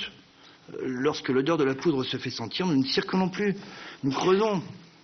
Et là, quand on prend les débriefings des médecins, euh, je continue, euh, qui revient le plus régulièrement, c'est à quoi peut bien servir mon arme Pourquoi n'a-t-on pas tiré? Ce sont les questions les plus relevées pour les médecins. Alors derrière ça, on va avoir toute une série, comment dire, de pathologies différentes qui se mettent en place. Elles passent du désarroi au ras-le-bol pour aller euh, jusqu'à ce qu'on va appeler. Non, non, non, mais Oui, d'accord. Euh, euh, je reprends, 3-4, euh, qui, va passer par euh, toute une série d'états, le, le ras-le-bol, euh, mais aussi des situations de, stress dépassées, et puis évidemment le, contact avec la mort qui va être de plus en plus mal vécu. parce qu'à vivre avec des morts omniprésentes, on finit par s'en imprégner dans l'album scié, mais aussi dans tous les témoignages, l'alignement des tombes, au bord des routes devient banal. Euh, on découvre aussi qu'on ne peut pas empêcher la mort. Je cite ce témoignage. Euh, j'ai vu un enfant sauter sur une mine, il était éventré. Le temps que le VAB arrive, il était mort. le casque bleu, non seulement ne peut pas empêcher sa mort, mais va vite comprendre que la propre sienne est pas loin. Il en vient naturellement à l'envisager. L'idée de mourir, je cite, est toujours présente. Et cette vulnérabilité, ils savent qu'à tel endroit, deux casques bleus sont morts. Ils savent aussi qu'à tel endroit, deux casques bleus, trois casques bleus étrangers sont tués. Et parfois, elles touchent même un ami. Je ne reviendrai pas sur cette dimension. Vous l'avez vu, je m'attacherai juste à un tout petit exemple. C'est celui de la mort de, Jean-François L. le 24 décembre 1993, qui est abattu par un tireur embusqué. La conservation, elle est totale. Euh, les soldats sont ravagés. Comment est-ce qu'on peut annoncer une mort un soir de Noël? Mais en plus, il n'était pas armé s'il n'est pas armé, il a été assassiné. Et en plus, il n'y a pas de représailles. Euh, compte tenu de tout cela, les soldats en viennent, pour certains, à basculer. Euh, le trauma est associé à une notion de, choc brutal. L'événement déclencheur, je continue, ne peut être, je, ne peut être qu'une pichenette. Alors pour certains, ça, va être une rencontre. Euh, J'y vais juste là. Euh, c'est sans doute ce qu'il advint à mon frère. C'est au cours d'une des patrouilles, sa section euh, découvre un charnière dans lequel gît un enfant mort. Un de ses camarades, dans une attitude qui n'est pas plus saine, effectue un acte insensé. Il urine sur le cadavre. À l'instant même, David est saisi par l'effroi, il se met torse nu et se lance en hurlant vers les lignes serbes. Maîtrisé par ses camarades, il est rapatrié sans délai. pour des compensations psychonévrotiques. Alors j'avais un peu prévu de vous parler de la démobilisation de, des Evassan, de comment est-ce qu'on revient euh, dans un contexte de paix, la difficulté après six mois de combat de revenir, de retrouver la paix, euh, d'autant qu'il faut attendre 95 pour que des procédures soient mises en place pour euh, aider les, soldats à, à revenir. Pour certains, c'est un retour impossible. C'est une famille qui ne les comprend plus. C'est aussi de l'incapacité de parler à sa famille. Le soldat va venir à, point de s'enfermer dans ses propres ruminations. S'enfermer dans ses propres ruminations, il peut rapidement euh, basculer vers une pathologie plus durable. Et quand ces journées deviennent un interminable quotidien, euh, c'est ce que disait mon frère juste avant de se suicider, et eh bien on met fin à ces jours. Je voudrais juste conclure. Euh, en sachant bien que cette dimension d'évacuation mériterait elle-même un, sanitaire un, séminaire et qu'aujourd'hui on a deux grands absents ce sont les aumôniers et les services de santé. Euh, que reste-t-il aujourd'hui de la Bosnie euh, d'un conflit qui n'intéresse plus grand monde? Euh, Que sont ces anciens casques bleus devenus? Question très délicate quand il s'agit pour l'historien de conclure sur le présent. Une guerre en chassant l'autre, que reste-t-il dans la Bosnie à la cœur des anciens combattants? Question qui entraîne une autre question. Que peut-il bien rester dans le cœur des anciens combattants de toutes les guerres? Combien de casques bleus sont revenus traumatisés de Bosnie? Combien avant eux d'Algérie? De toutes les guerres, victorieuses ou celles mal aimées Combien reviendront des prochaines? Quoi qu'il arrive, le rôle de l'historien est de ne pas cacher ses blessures, de ne pas les taire, d'accepter de parler de cette souffrance pour transformer un destin subi en destin assumé, aider à rendre compréhensible l'indicible et l'inaudible. Je vous remercie. Nous souhaiter vous lire ces paroles de Casque Bleu en hommage à ceux de Bosnie, qui sont extraits d'écrits, d'écrits de soldats ou d'entretiens. Devant la désolation, poche de Biach, 94. Nous traversons des villages dévastés, les maisons qui bordent la route sont entièrement détruites et les rares façades qui tiennent encore debout sont criblées d'impacts de balles. Parfois, il ne reste qu'une sorte de cheminée, un amas de pierres noires et de bois calciné. C'est une vision d'enfer sous un soleil accablant. Moïman, septembre 94. Notre VBL traverse un village abandonné, brûlé, détruit en ruine. La vision est assez impressionnante, elle nous rappelle des images d'Oradour sur Glane. Dans notre zone, tous les villages ont été pillés, brûlés, abandonnés. Mais où est la population civile Cachée, déportée? Sarajevo, octobre 1994. C'est vraiment hallucinant de voir le nombre de bâtiments détruits, en ruine, des hôtels, des musées, une ville en guerre. Les HM n'ont plus aucune vitre, les maisons inachevées, criblées de mille éclats, les carcasses de tramways calcinés, les enfants en haillons, jouant dans les flaques. En zone démilitarisée, en interposition. Igman, 94. Soldat de la paix, on l'appelle. Soldat cible serait moins trompeur. Poche de Biac, 94. Une escorte de 14 camions et au sud était prévue aujourd'hui. Nous avons été bloqués à Jabukovac, le dernier point de contrôle avant la ligne de front. Les miliciens d'Abdish refusaient de laisser passer la nourriture. Après avoir attendu cinq heures, nous avons fait demi-tour.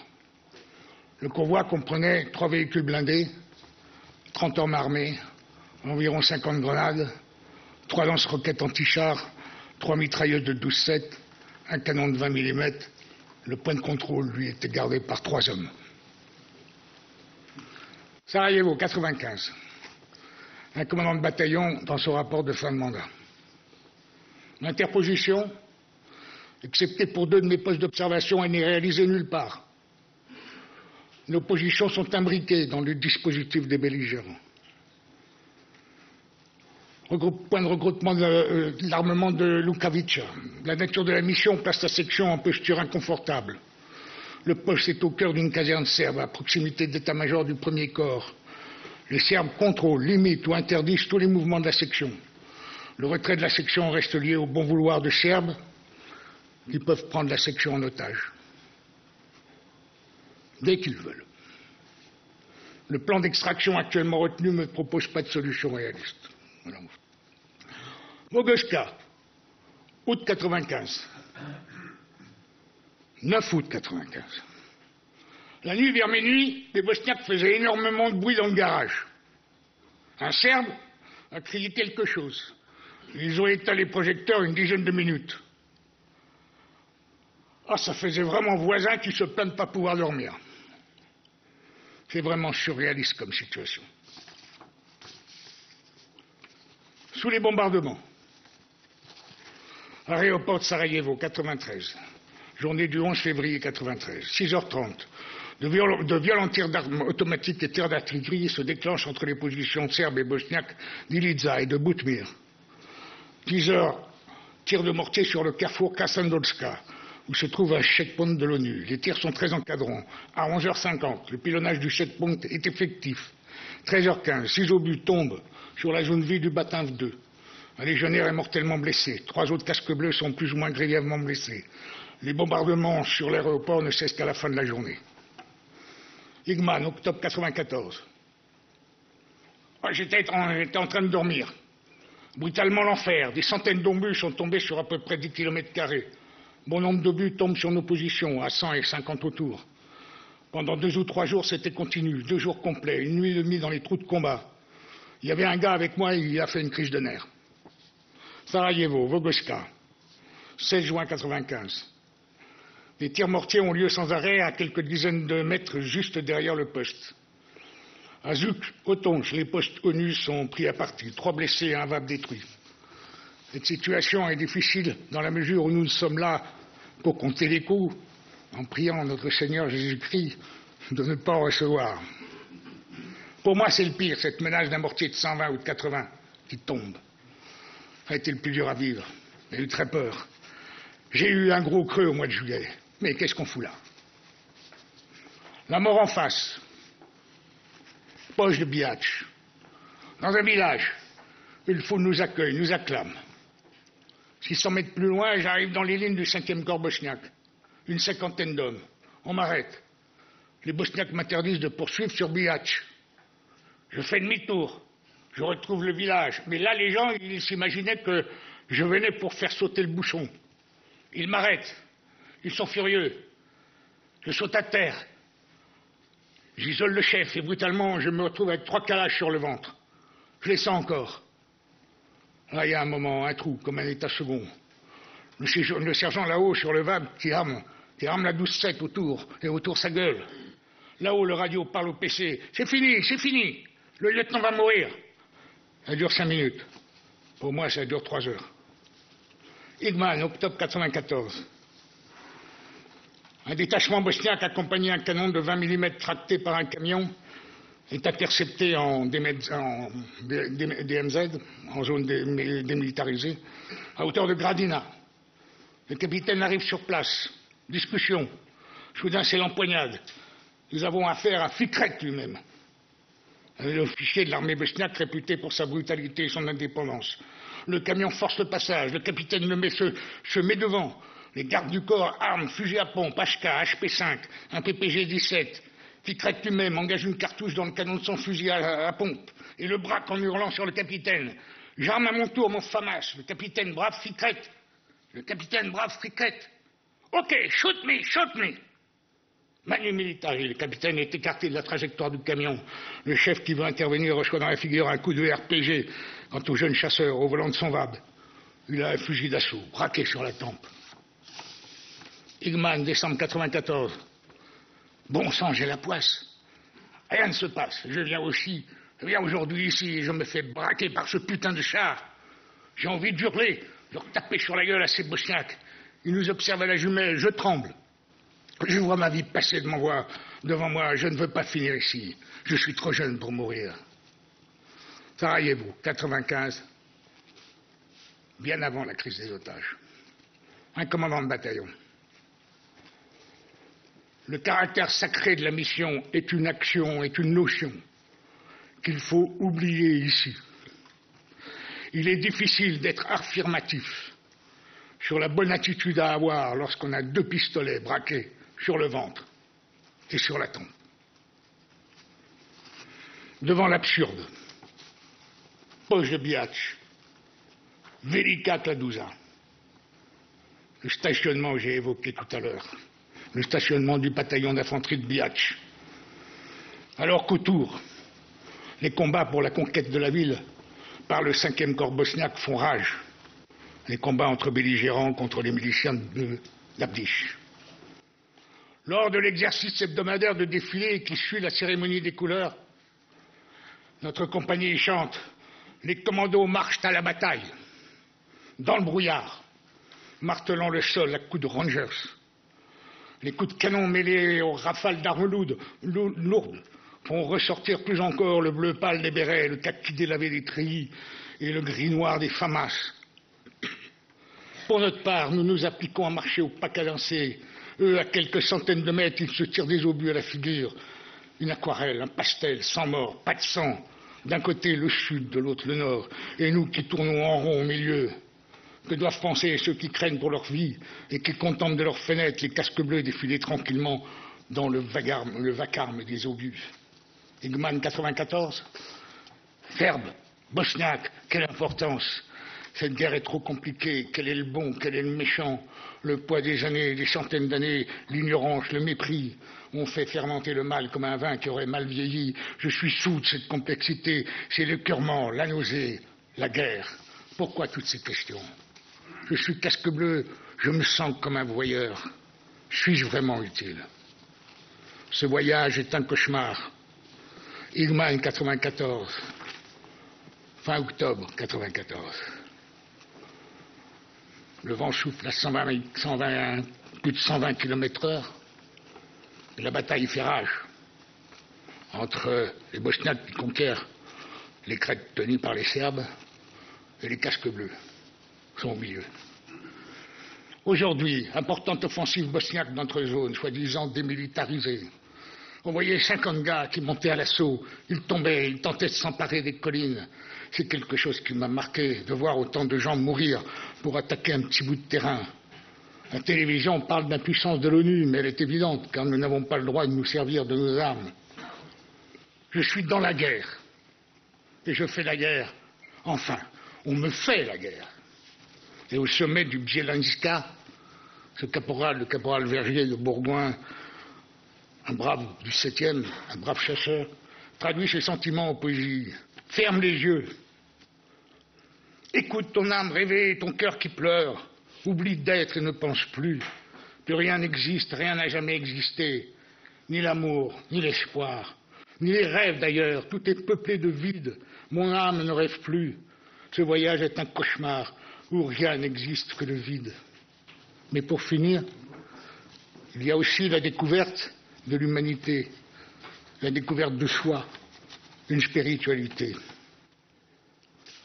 Ma retraite à moi, c'est la Yougoslavie. Chaque jour, je découvre que je suis heureux, que j'ai de la chance et quand même les larmes coulent en silence le long de mon nez. Je suis que je suis heureux. Je sais que je suis heureux. La semaine dernière, j'ai vu de l'eau couler, elle avait l'odeur du sang. Elle ruisselait d'une maison éventrée, elle s'insinuait dans le sol, me donnant le vertige le vertige du temps qui passe, de la brièveté de la vie humaine, de l'impuissance de l'homme à être maître de ce qu'il croit maîtriser. Pourtant, tout en étant révolté, je me sens élevé, moins égoïste. J'ai l'impression de perdre cette vanité de la responsabilité et des idées qui sont les miennes.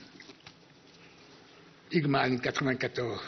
Tiens, dans Yougoslavie, il y a vie, et pourtant là-bas on meurt. Cela fait trois mois que je suis ici. Avec ce que, j'ai vu, ce que j'ai vécu, j'en ai tiré une leçon. C'est qu'en France, je me plaignais vraiment pour rien. Et quand je vois les gens d'ici qui n'ont plus rien et qui, eux, ne se plaignent pas, je pense que c'est à ces gens-là qu'il faudrait donner des médailles. Et pour finir, cet extrait d'un recueil de poèmes de Bruno Carpentier, qui était lieutenant dans la poche de Biatch, qu'il a publié sous le titre Les dracons de Velika. J'ai rencontré la haine et la peur, banales, au quotidien de l'horreur, à Biatch, où tous les jours on meurt. J'ai tenté de l'écrire. Une lame de dégoût m'y a poussé. Alors, j'ai pensé à toi, Ne te trompe pas de dragon. Il est des rimes évocatrices. Là où pacifisme veut laxisme, épique, rime pacifique. Oui, Colonel Durieux, j'étais en poste comme observateur de l'ONU au Proche-Orient. Quand la Yougoslavie euh, s'est déclarée, je me suis porté volontaire et j'ai débarqué donc juste après les accords de Cyrus-Vance en janvier donc 1992, trois mois avant, le, avant la Fort Prenu. J'ai été en poste donc comme chef de secteur à Dubrovnik. Ensuite, je suis passé chef des opérations à Sarajevo et à Belgrade, puisqu'un temps le, PC de l'ONU, avant, que la Fort Prenu arrive, était à Belgrade. Et là, de chef des opérations, j'ai basculé dans la Fort Prenu, puisque notre mission des observateurs de l'ONU qui travaillaient avec les observateurs européens, qui est assez peu connue, avait été là pour mettre du bleu dans le paysage, sachant qu'après les accords de Cyrus-Vance en janvier, on savait que la Fort Prenu demanderait trois mois pour se, déployer. À l'issue de ces trois mois, la Fort Prenu est donc arrivée euh, à, Sarajevo. Et là, j'ai été muté comme chef du secteur sud, hein, de tous les observateurs du secteur euh, sud, c'est-à-dire du côté de Karlovac, mais du côté euh, dans la Krajina serbe. Alors, donc, avec l'expérience que j'avais d'une année et demie au Proche-Orient, donc j'avais pas de problème pour travailler dans un milieu de l'ONU. J'étais, je commandais à peu près une quarantaine d'officiers de 25 nations différentes dans les Krajina. Et je les tenais en main parce que j'avais cette expérience opérationnelle. J'avais commandé une compagnie en 84-85 au, sud Liban. Ce que j'ai vu autour de moi et aussi dans les, euh, dans les relations que j'avais avec le, bataillon, bon, c'était un bataillon nigérian, danois et puis, euh, et puis polonais. Bon, c'était les, les difficultés qu'on avait à travailler avec le système ONU. Ce que j'ai noté à cette époque, c'est au départ le, manque de préparation, alors dans, le sens où, en fait, quand j'ai annoncé que je partais pour, comme observateur de l'ONU, il y a tout de suite eu une levée de bouclier franco-française, si on peut dire, au niveau des états-majors, en disant qu'est-ce que tu vas faire euh, là-bas? Donc il est certain qu'on n'était pas préparé. Au niveau des contacts qu'on avait de temps à autre avec l'état-major, on n'était pas aussi tellement considéré. Donc, ce qui fait que tous ces éléments qui étaient vraiment des éléments de culture français faisaient qu'effectivement, pour la préparation, ça à mon avis, posé des problèmes. Et j'ai eu affaire à des gens, hein, parce que j'avais déjà trois mois en Yougoslavie, j'ai eu affaire à des gens qui n'étaient pas préparés. Et ça, c'est un peu la remarque que, j'ai fait, indépendamment de la connaissance de la langue anglaise qui était tout de même, utile il y avait la connaissance du système euh, onusien. Et j'en parle d'autant plus que de 2004 à 2013, je m'occupais d'opérations de maintien de la paix au département des opérations de maintien de la paix à, New York. Et heureusement, il y avait eu un changement culturel, mais qu'il y a toujours cette espèce d'hostilité. Alors, c'est mon avis cette espèce d'hostilité vis-à-vis du système onusien, alors que la France étant membre du Conseil de sécurité, je peux vous dire que dans les débats auxquels j'ai assisté sur la République démocratique du Congo, sur le Mali, sur la Centrafrique, la France est un, entre guillemets un des piliers qui soutient l'ONU. Donc côté diplomatique, euh, il est clair que la France est un des piliers du système. Côté ministère de la Défense, il faut noter qu'il y a toujours une espèce de résistance qui vient en partie, à mon avis, de, de la Yougoslavie, mais qui fait que même si les gens sont un peu plus préparés maintenant, et ça s'est assez bien passé au, Mali, il y, a, eu un problème un peu culturel. Voilà, mais c'est bien mon expérience personnelle et, mon avis qui, parle. Euh, en ayant un prétexte qui est terrible.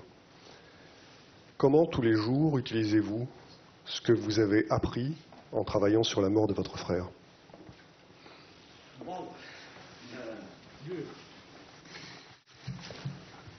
Alors, euh, déjà, j'ai appris euh, par la souffrance de mes parents que la mienne était très relative. Ça, c'est la première chose qui me guide tous les jours, pas dans mon enseignement, mais dans ma personnalité. Euh, deuxième chose, euh, ça m'a fait choisir ce métier d'historien, parce que c'est pour ça ce choix. Aujourd'hui, il y a un très très beau livre d'Anne Becker qui est co-signé avec Anne Becker qui vient de sortir sur les motifs qui vous poussent à être historien. Euh, ceux qui disent qu'être historien est neutre est, une aberration. Il n'y a pas de neutralité dans l'histoire. c'est l'idée que je suis face à des gamins au collège qui vont globalement de, de 12 à 15 ans qui très souvent n'en ont strictement rien à cirer de ce que je leur raconte, il faut être lucide, mais euh, j'ai juste l'idée qu'il s'est passé des choses, euh, que l'on vient de quelque part, que ce sont des enfants qui sont issus d'une société, que ce n'est pas les erreurs qui sont condamnables, c'est leur reproduction. Et que, en tant que prof d'histoire, quelque part, ben, on, est un peu dans, un rôle de sentinelle, euh, de poil à gratter. Et de temps en temps, être prêt à montrer aux gamins ben, qui sont juste des enfants gâtés, des gosses d'une société ultra privilégiée, et que s'ils ont tous ces privilèges, c'est parce qu'il y en a qui ont été se faire casser la gueule à leur place. Voilà. Euh, je le dis euh, un petit peu comme je le ressens parce qu'on m'a posé une question qui est très très personnelle. Euh, je vous dirais même quitte à me mettre en danger s'il faut face à certains gamins qui, je considère, qui manquent de respect pour les sujets que j'enseigne. Donc une certaine dureté et ne pouvant pas, ni à mon âge ni physiquement, m'engager dans le métier des armes, j'ai fait le choix de m'engager politiquement autrement. Et je pense que l'histoire est un engagement politique, au sens citoyen du terme.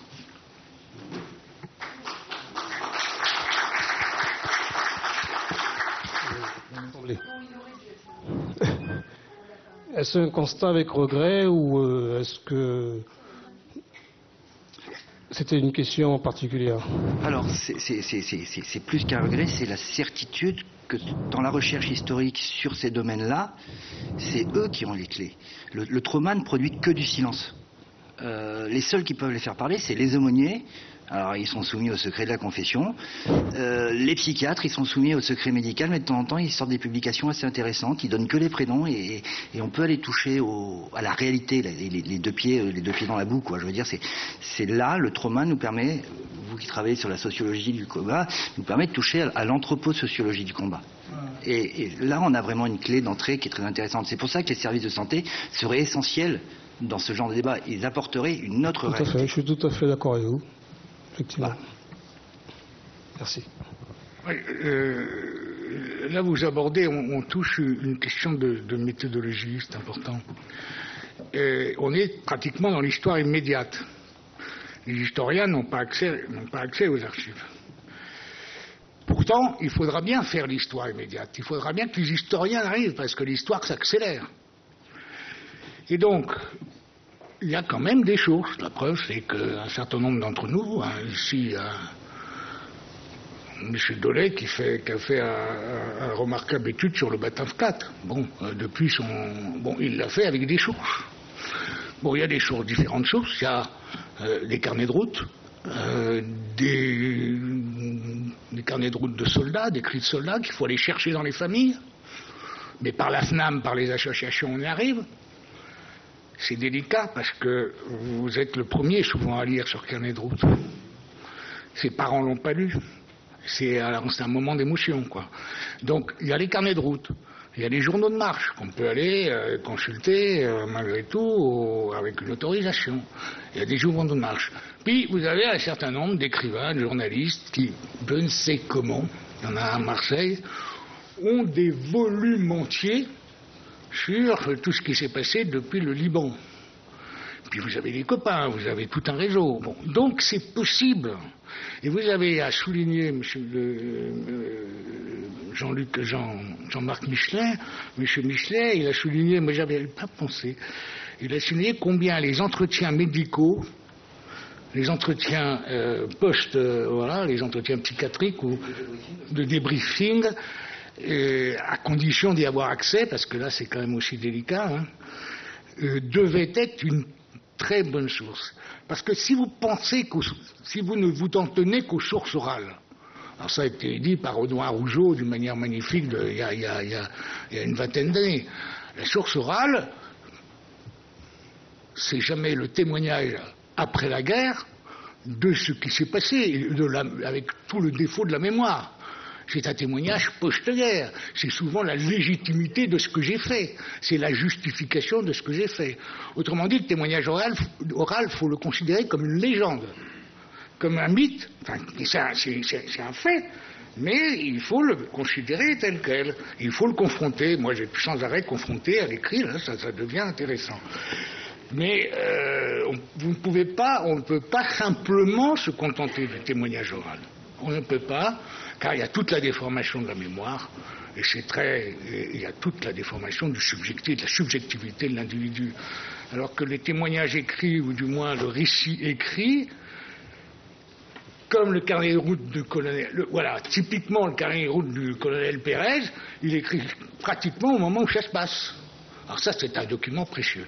Voilà. Excusez-moi d'avoir été, d'avoir fait cette discrétion euh, méthodologique. J'ai l'impression que pour limiter euh, le, les, les, traumatismes, euh, le fait de pratiquer des activités positives, valorisantes, comme celles que nous faisions au profit de la population, ça donne à nos hommes le sentiment d'être utiles, de faire quelque chose de bien, et euh, ça les évite, ça leur évite de, tourner en permanence des idées noires. D'autre part, il faut que les chefs qui eux souffrent moins de ce genre de, syndrome parce qu'ils sont beaucoup plus occupés en permanence, ils ont des responsabilités à, exercer. Il faut que les chefs trouvent ces activités, fixent un horizon visible à leurs hommes en permanence, des missions précises et que tout le monde ait l'impression de faire quelque chose de bien. Oui, c'est euh, un élément important, c'était, euh, et qu'on retrouve d'ailleurs souvent dans le témoignage, c'est la capacité à ouvrir le feu. Le simple fait d'ouvrir le feu. Il y a une expérience qui est célèbre hein, de, sociologie où on prend deux groupes d'étudiants, euh, qu'on leur fait faire des tests et ils ont tous un bruit de fond assez désagréable. Mais dans un groupe, les étudiants ont un bouton rouge qui leur permet d'arrêter le bruit s'ils le veulent. On s'aperçoit que les gens qui ont le bouton rouge réussissent mieux les tests. Et ce qui est le plus étonnant, c'est qu'on s'aperçoit qu'ils n'utilisent quasiment jamais le bouton rouge mais simplement le simple fait de savoir qu'ils peuvent le faire, euh, qu'ils peuvent appuyer au cas où, c'est-à-dire que leur donne le sentiment d'avoir une maîtrise un peu sur leur environnement, qu'ils ne sont pas simplement à subir, change complètement leur perception des choses et change complètement la vie. Et moi, ce, souvenir que, j'ai de Sarajevo, c'était, euh, on n'a pas parlé, mais euh, le Sarajevo, c'était aussi le contre-modèle de, de Beyrouth. C'est-à-dire que vous, enfin tous les, même tous les anciens, tous, les, gens qui étaient euh, un peu anciens avaient connu la, FMSB à Beyrouth et c'était le contre-modèle. L'idée, voilà, c'était euh, question de, se faire avoir comme. Euh, et parmi ces les éléments, il y avait cette idée que voilà, il faut l'ouverture du feu, elle est à l'initiative euh, de tout le monde, il n'y a pas besoin de demander l'autorisation, euh, chacun est capable de juger, un professionnel est capable de juger de la situation, et euh, voilà, et on s'aperçoit que bon, de toute façon la situation était toujours très complexe, que c'est toujours très compliqué de savoir si on se faisait tirer dessus, si c'était nous, c'était pas nous, c'était bon.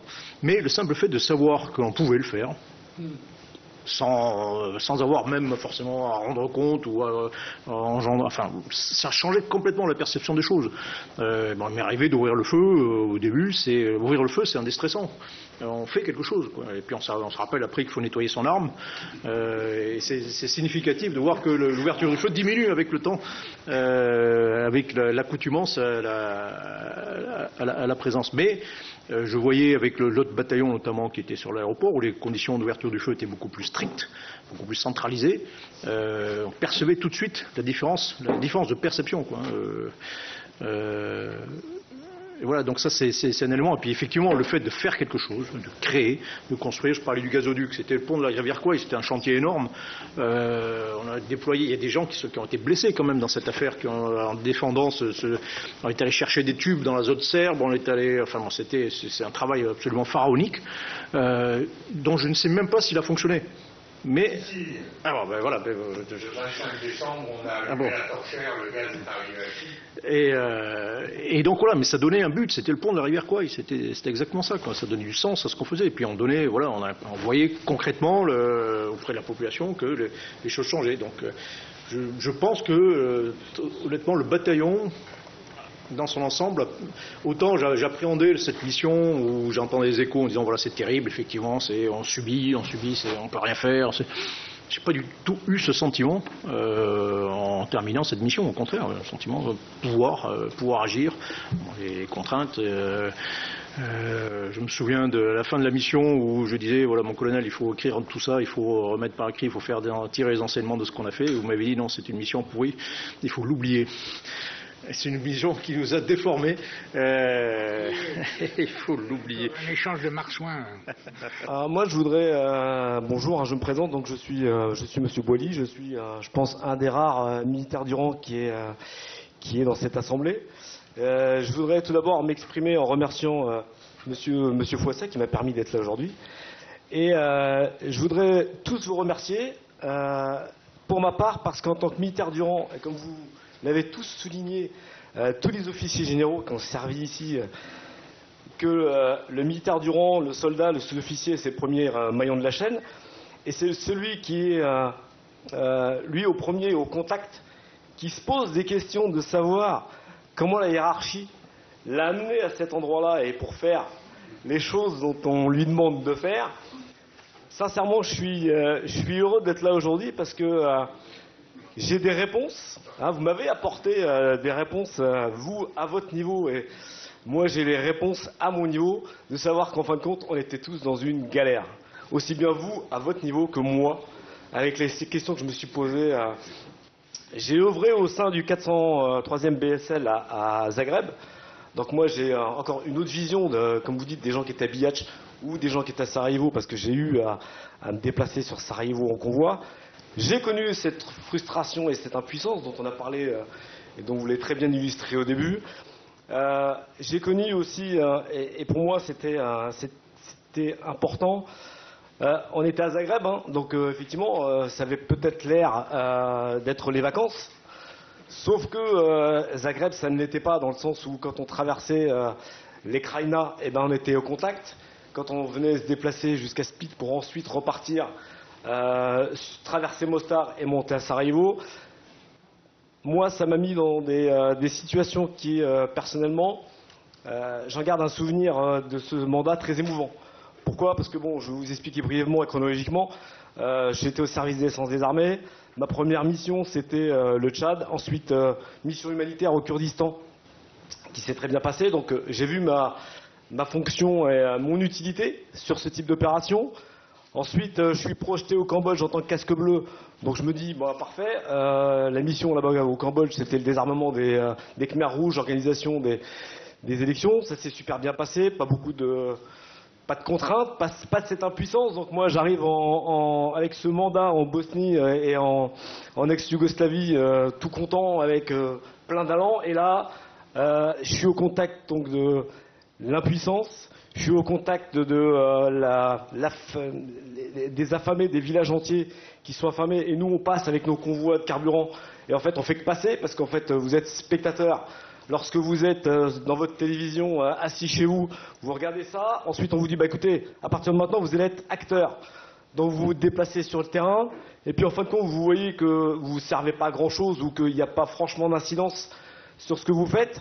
Ensuite, vous allez aussi parler des, des congés. Donc vous êtes baigné dans ce système-là pendant deux mois, et puis après on vous dit hop, stop, qu'est-ce qu'il y a? Tu dois rentrer chez toi. Donc d'acteur, vous redevenez et vous rentrez chez vous en tant que spectateur. Et en fait, ça continue, parce qu'à l'époque, je ne sais pas si vous vous souvenez, mais les radios, les télévisions faisaient leur une sur Sarajevo, sur la Bosnie. Donc vous étiez quand même plongé de chez vous, vous redeveniez un spectateur. Les 15 jours passant à une vitesse phénoménale, euh, votre famille, vous, y faites presque pas attention parce que vous êtes comme un zombie. Ensuite, vite, vite, vite, il faut repartir parce que vous avez vos amis sur place.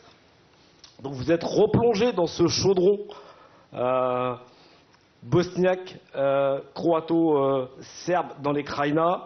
Donc vous redevenez encore un acteur. Hein. je suis passé dans toutes les poches, les poches de Biac, Velika Kladusa, dans tous les, les, villages qui ont été cités avec euh, en fait euh, euh, ce, sentiment de ne faire que passer.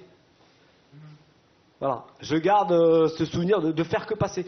Je ne vois pas moi, même si on allait alimenter les différents bataillons hein, en, carburant, l'utilité sur place, la misère que moi j'ai vue sur place. En plus, ça m'a touché moi profondément parce que je venais d'avoir un enfant. Donc, y avait, et je voyais ces gamins qui couraient sur la route, euh, qui prenaient des risques inconsidérés pour avoir des rations de combat parce qu'ils étaient affamés. Et nous, on était là, on passait. On passait, on faisait notre mission, on vidait nos, camions citernes et puis hop, on repartait. Et on revenait à Zagreb dans euh, la, civilisation. Hein, moi, ce qui me frappait, et je, continue de m'exprimer, excusez-moi, mais j'en ai besoin. Euh, je parlais du, cas de, Split, quand on s'arrêtait à Split pour avoir les autorisations et avoir le, le, le délai nécessaire pour aller à, Sarajevo. Split, c'était euh, la civilisation, et puis d'un seul coup, quand on arrivait au, checkpoint pour passer à Mostar de l'autre côté, et ben là, on changeait de monde. Donc, euh, je vous laisse imaginer comment vous pouvez psychologiquement, voilà, vous, vous, quittez un univers qui est totalement sécurisé, et là, on vous dit stop, stop, qu'est-ce qu'il y a? Parce que de l'autre côté de la frontière, c'est casque bleu, c'est gilet pare-balles, c'est euh, le prêt à, à, à, riposter, et là, vous passiez d'un ben, élément totalement sécurisé à un élément, euh, vous passiez de côté dans la désolation, la guerre euh, et, tout ce qui va avec. Vous traversiez ce champ de ruines là pour aller jusqu'à Sarajevo et puis bon le, fameux cacagne où on était euh, souvent et, arrêté là, humilié pour, parce qu'on pouvait pas passer, il fallait l'autorisation des, des, ministres sur place, la, la fameuse cléance hein, qu'on attendait des, des jours et des jours. Et là on se pose la question, mais que font nos chefs? Que fait l'ONU? Et tout ça, eh ben écoutez, j'ai mes réponses. Je suis venu chercher ces réponses-là aujourd'hui et je les ai. Voilà. Bonjour Hugues Dollet, je suis simple citoyen, hein, donc j'ai pas du tout fait l'armée. En revanche, je suis un grand passionné depuis 25 ans du conflit euh, bosniaque et surtout de l'engagement militaire de l'armée française en Yougoslavie. Donc le, sujet est absolument est, génial pour moi aujourd'hui et je suis ravi. Euh, je ferai juste un parallèle entre euh, ce qu'on voit tous les jours, euh, enfin même depuis dix ans on va dire, sur, sur la médiatisation des conflits, que ce soit l'Afghanistan, que ce soit la Libye, que ce soit le Mali. Ces conflits sont surmédiatisés, donc la population française en a plein la tête tout le temps sur LCI, sur, toutes les chaînes. Il y a un certain nombre d'acteurs aussi qui ont écrit des bouquins sur L'Afghanistan, sur le Mali, on peut en trouver des dizaines. Euh, et je suis très étonné, euh, je suis très étonné que sur la Bosnie, pourtant qui a, occupé quand même euh, l'armée française dans les années 90, hein, qui a été le plus gros théâtre pour, l'armée française dans, cette période, euh, les bouquins, les témoignages ne se comptent que, sur le doigt de peut-être deux mains. Donc, je trouve ça, je trouve ça je vais pas dire dommage parce que s'il n'y a pas de bouquin là-dessus, moi je vais en écrire et c'est ma passion. Euh, après, euh, euh, je sens que voilà, à travers ces deux jours, les gens ont besoin de parler, les gens ont besoin d'évoquer ce qu'ils ont vécu, même il y a 20 ans. Euh, je vais même vous dire qu'est-ce que vous attendez pour écrire, qu'est-ce que vous attendez pour libérer vos paroles, que ce soit pour vous, pour l'armée, en mémoire, en l'honneur de ceux qui ont fait leur job là-bas, de ceux qui ont été blessés, qui sont morts et puis, euh, le devoir des mémoires qu'on a vis-à-vis euh, bah, de la France, des Français. Euh, et ça servira forcément un jour pour vous comme pour tous les autres.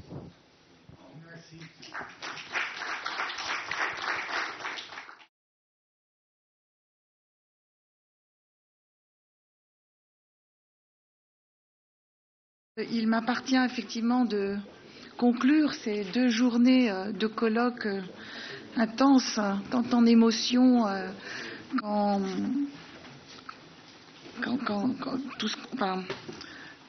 dans tous les domaines d'ailleurs. Et je m'adresse à vous tous, euh, non pas en, en, vos grades égalités, je m'adresse à vous tous à égalité. Car aujourd'hui et hier, les paroles qui ont été entendues qu'il s'agisse de celle d'un ancien ministre des Affaires étrangères, secrétaire général du, président de la République, de généraux, d'amiraux éminents, eh bien, vous avez compris, leurs paroles étaient importantes pour comprendre ce qui s'est passé, pour essayer de comprendre ce qui s'est passé, mais en réalité, toutes les paroles, tout ce que nous avons entendu, particulièrement aujourd'hui et cet après-midi, sont importantes et ont exactement la même valeur. Je pense que de ce côté-là, chacun sera d'accord avec moi.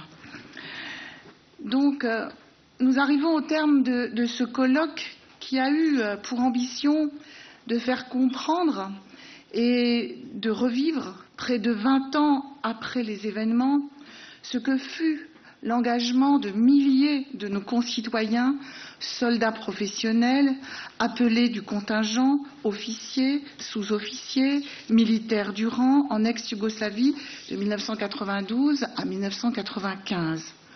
Son ambition était aussi de leur rendre hommage, car cet engagement n'a pas toujours été compris et mesuré à sa juste valeur. Il se cite encore aujourd'hui et nous avons pu le constater durant ces deux jours, des débats, des, discussions et même des controverses. Cet hommage, il est avant tout adressé à celles et ceux qui sont revenus ou qui sont revenus blessés, qui ne sont pas revenus, pardon, ou qui sont revenus blessés, marqués à jamais. Il s'adresse également aux familles endeuillées ou qui vivent aujourd'hui encore dans le souvenir d'un proche, je pense à vous, monsieur Michelet, d'un père, d'un époux, d'un frère, d'un époux éprouvé par cette expérience.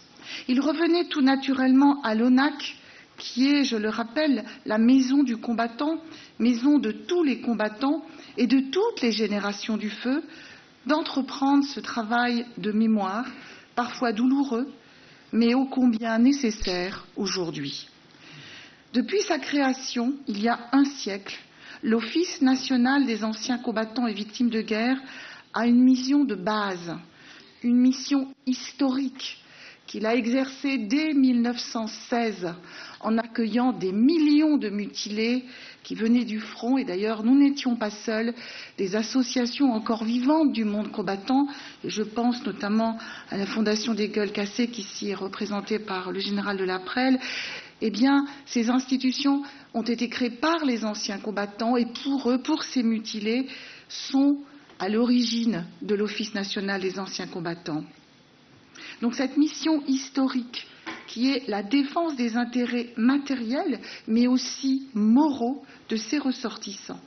Comme le précisait d'ailleurs le secrétaire d'État aux anciens combattants et victimes de guerre hier, cette mission implique naturellement une continuité dans les actions, mais également une constante adaptation aux réflexions et aux attentes de ces trois millions de ressortissants qu'aujourd'hui encore nous accueillons, nous aidons.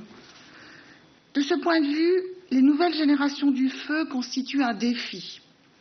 La diversité et la complexité des expériences militaires de nos soldats, des expériences des opérations extérieures auxquelles ils ont pris part, mais aussi les besoins qu'ils expriment poussent l'ONAC aujourd'hui une nouvelle fois à s'adapter. Nos partenariats, notamment avec la cellule d'aide aux blessés de l'armée de terre et les autres cellules d'aide aux blessés des armées, avec le service de santé des armées, mais aussi avec les associations, vont dans ce sens.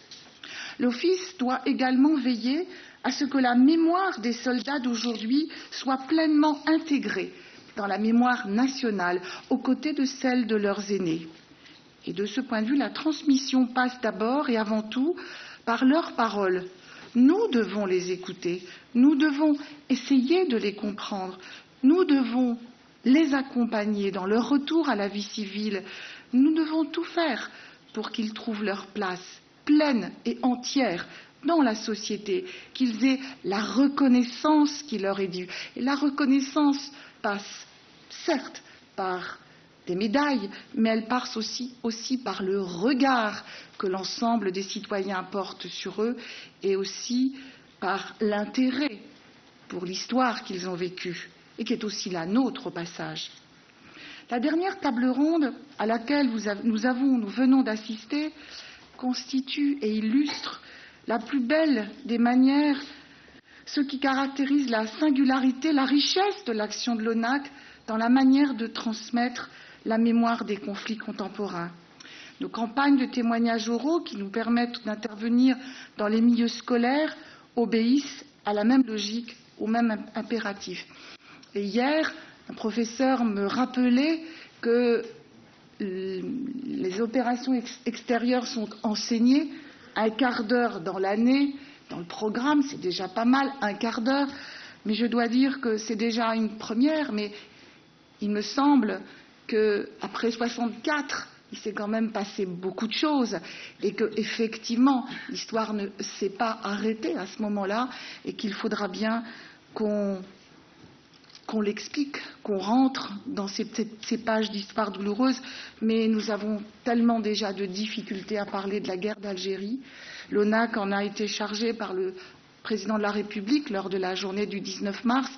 Nous allons entreprendre ce travail avec le ministère de l'Éducation nationale, mais il faut que nous nous préparions aussi à parler demain des générations, des nouvelles générations et de ces opérations extérieures qui en fait sont des guerres transverses, des guerres qui ne portent pas ce nom. Mais je rappelle que la guerre d'Algérie, il a fallu attendre longtemps avant qu'on lui donne le nom de guerre, puisque je rappelle qu'il s'agissait d'événements. Il n'y a pas de transmission sans écoute. Les acteurs et les témoins des événements dont nous cultivons le souvenir sont les premiers passeurs de mémoire. Ils sont indispensables à la perpétuation d'une mémoire juste et partagée. Cela fut vrai pour nos poilus, cela est vrai pour ceux qui traversèrent l'immense tragédie que constitue la Seconde Guerre mondiale, mais également pour les soldats des guerres d'Indochine, de la guerre d'Algérie, et en pleine continuité avec les actions de transmission que l'ONAC euh, mena et mène toujours envers ces générations du feu, cela reste vrai aujourd'hui avec les soldats des opérations extérieures.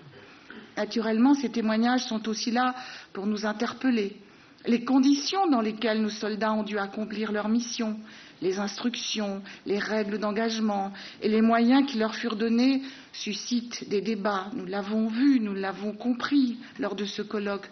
Cette parole authentique je le répète, car c'est important, est la première étape nécessaire à la constitution d'une mémoire collective et également est un apport à la construction de notre histoire. Une, mémoire collective pas toujours partagée, confrontée, mais la confrontation a du bon aussi. Une mémoire confrontée peut être utile, si utile, elle contribuera à la formation intellectuelle et morale des futurs citoyens de ce pays.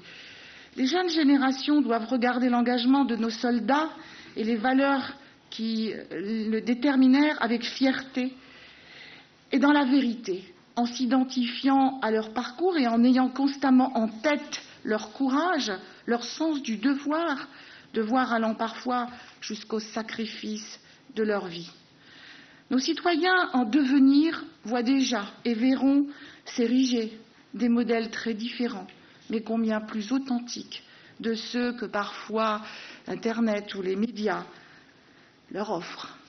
Nous sommes ici au cœur de la transmission, mais aussi au cœur du lien entre la société civile et la communauté des défenses, ce que nous appelons ici au ministère euh, le lien armée-nation. Mais je préfère dire le lien entre la société civile et la communauté de défense. L'Office, par son histoire, mais aussi de par ses missions, en est un acteur essentiel. C'est pourquoi l'enregistrement de ce colloque, sa diffusion libre sur le web, nous semble particulièrement utile et prioritaire. J'invite tous ceux qui ont participé à ce colloque à diffuser cet outil qui contribuera sans nul doute à libérer la parole. Et je rappelle que c'est vraiment une première au ministère de la Défense.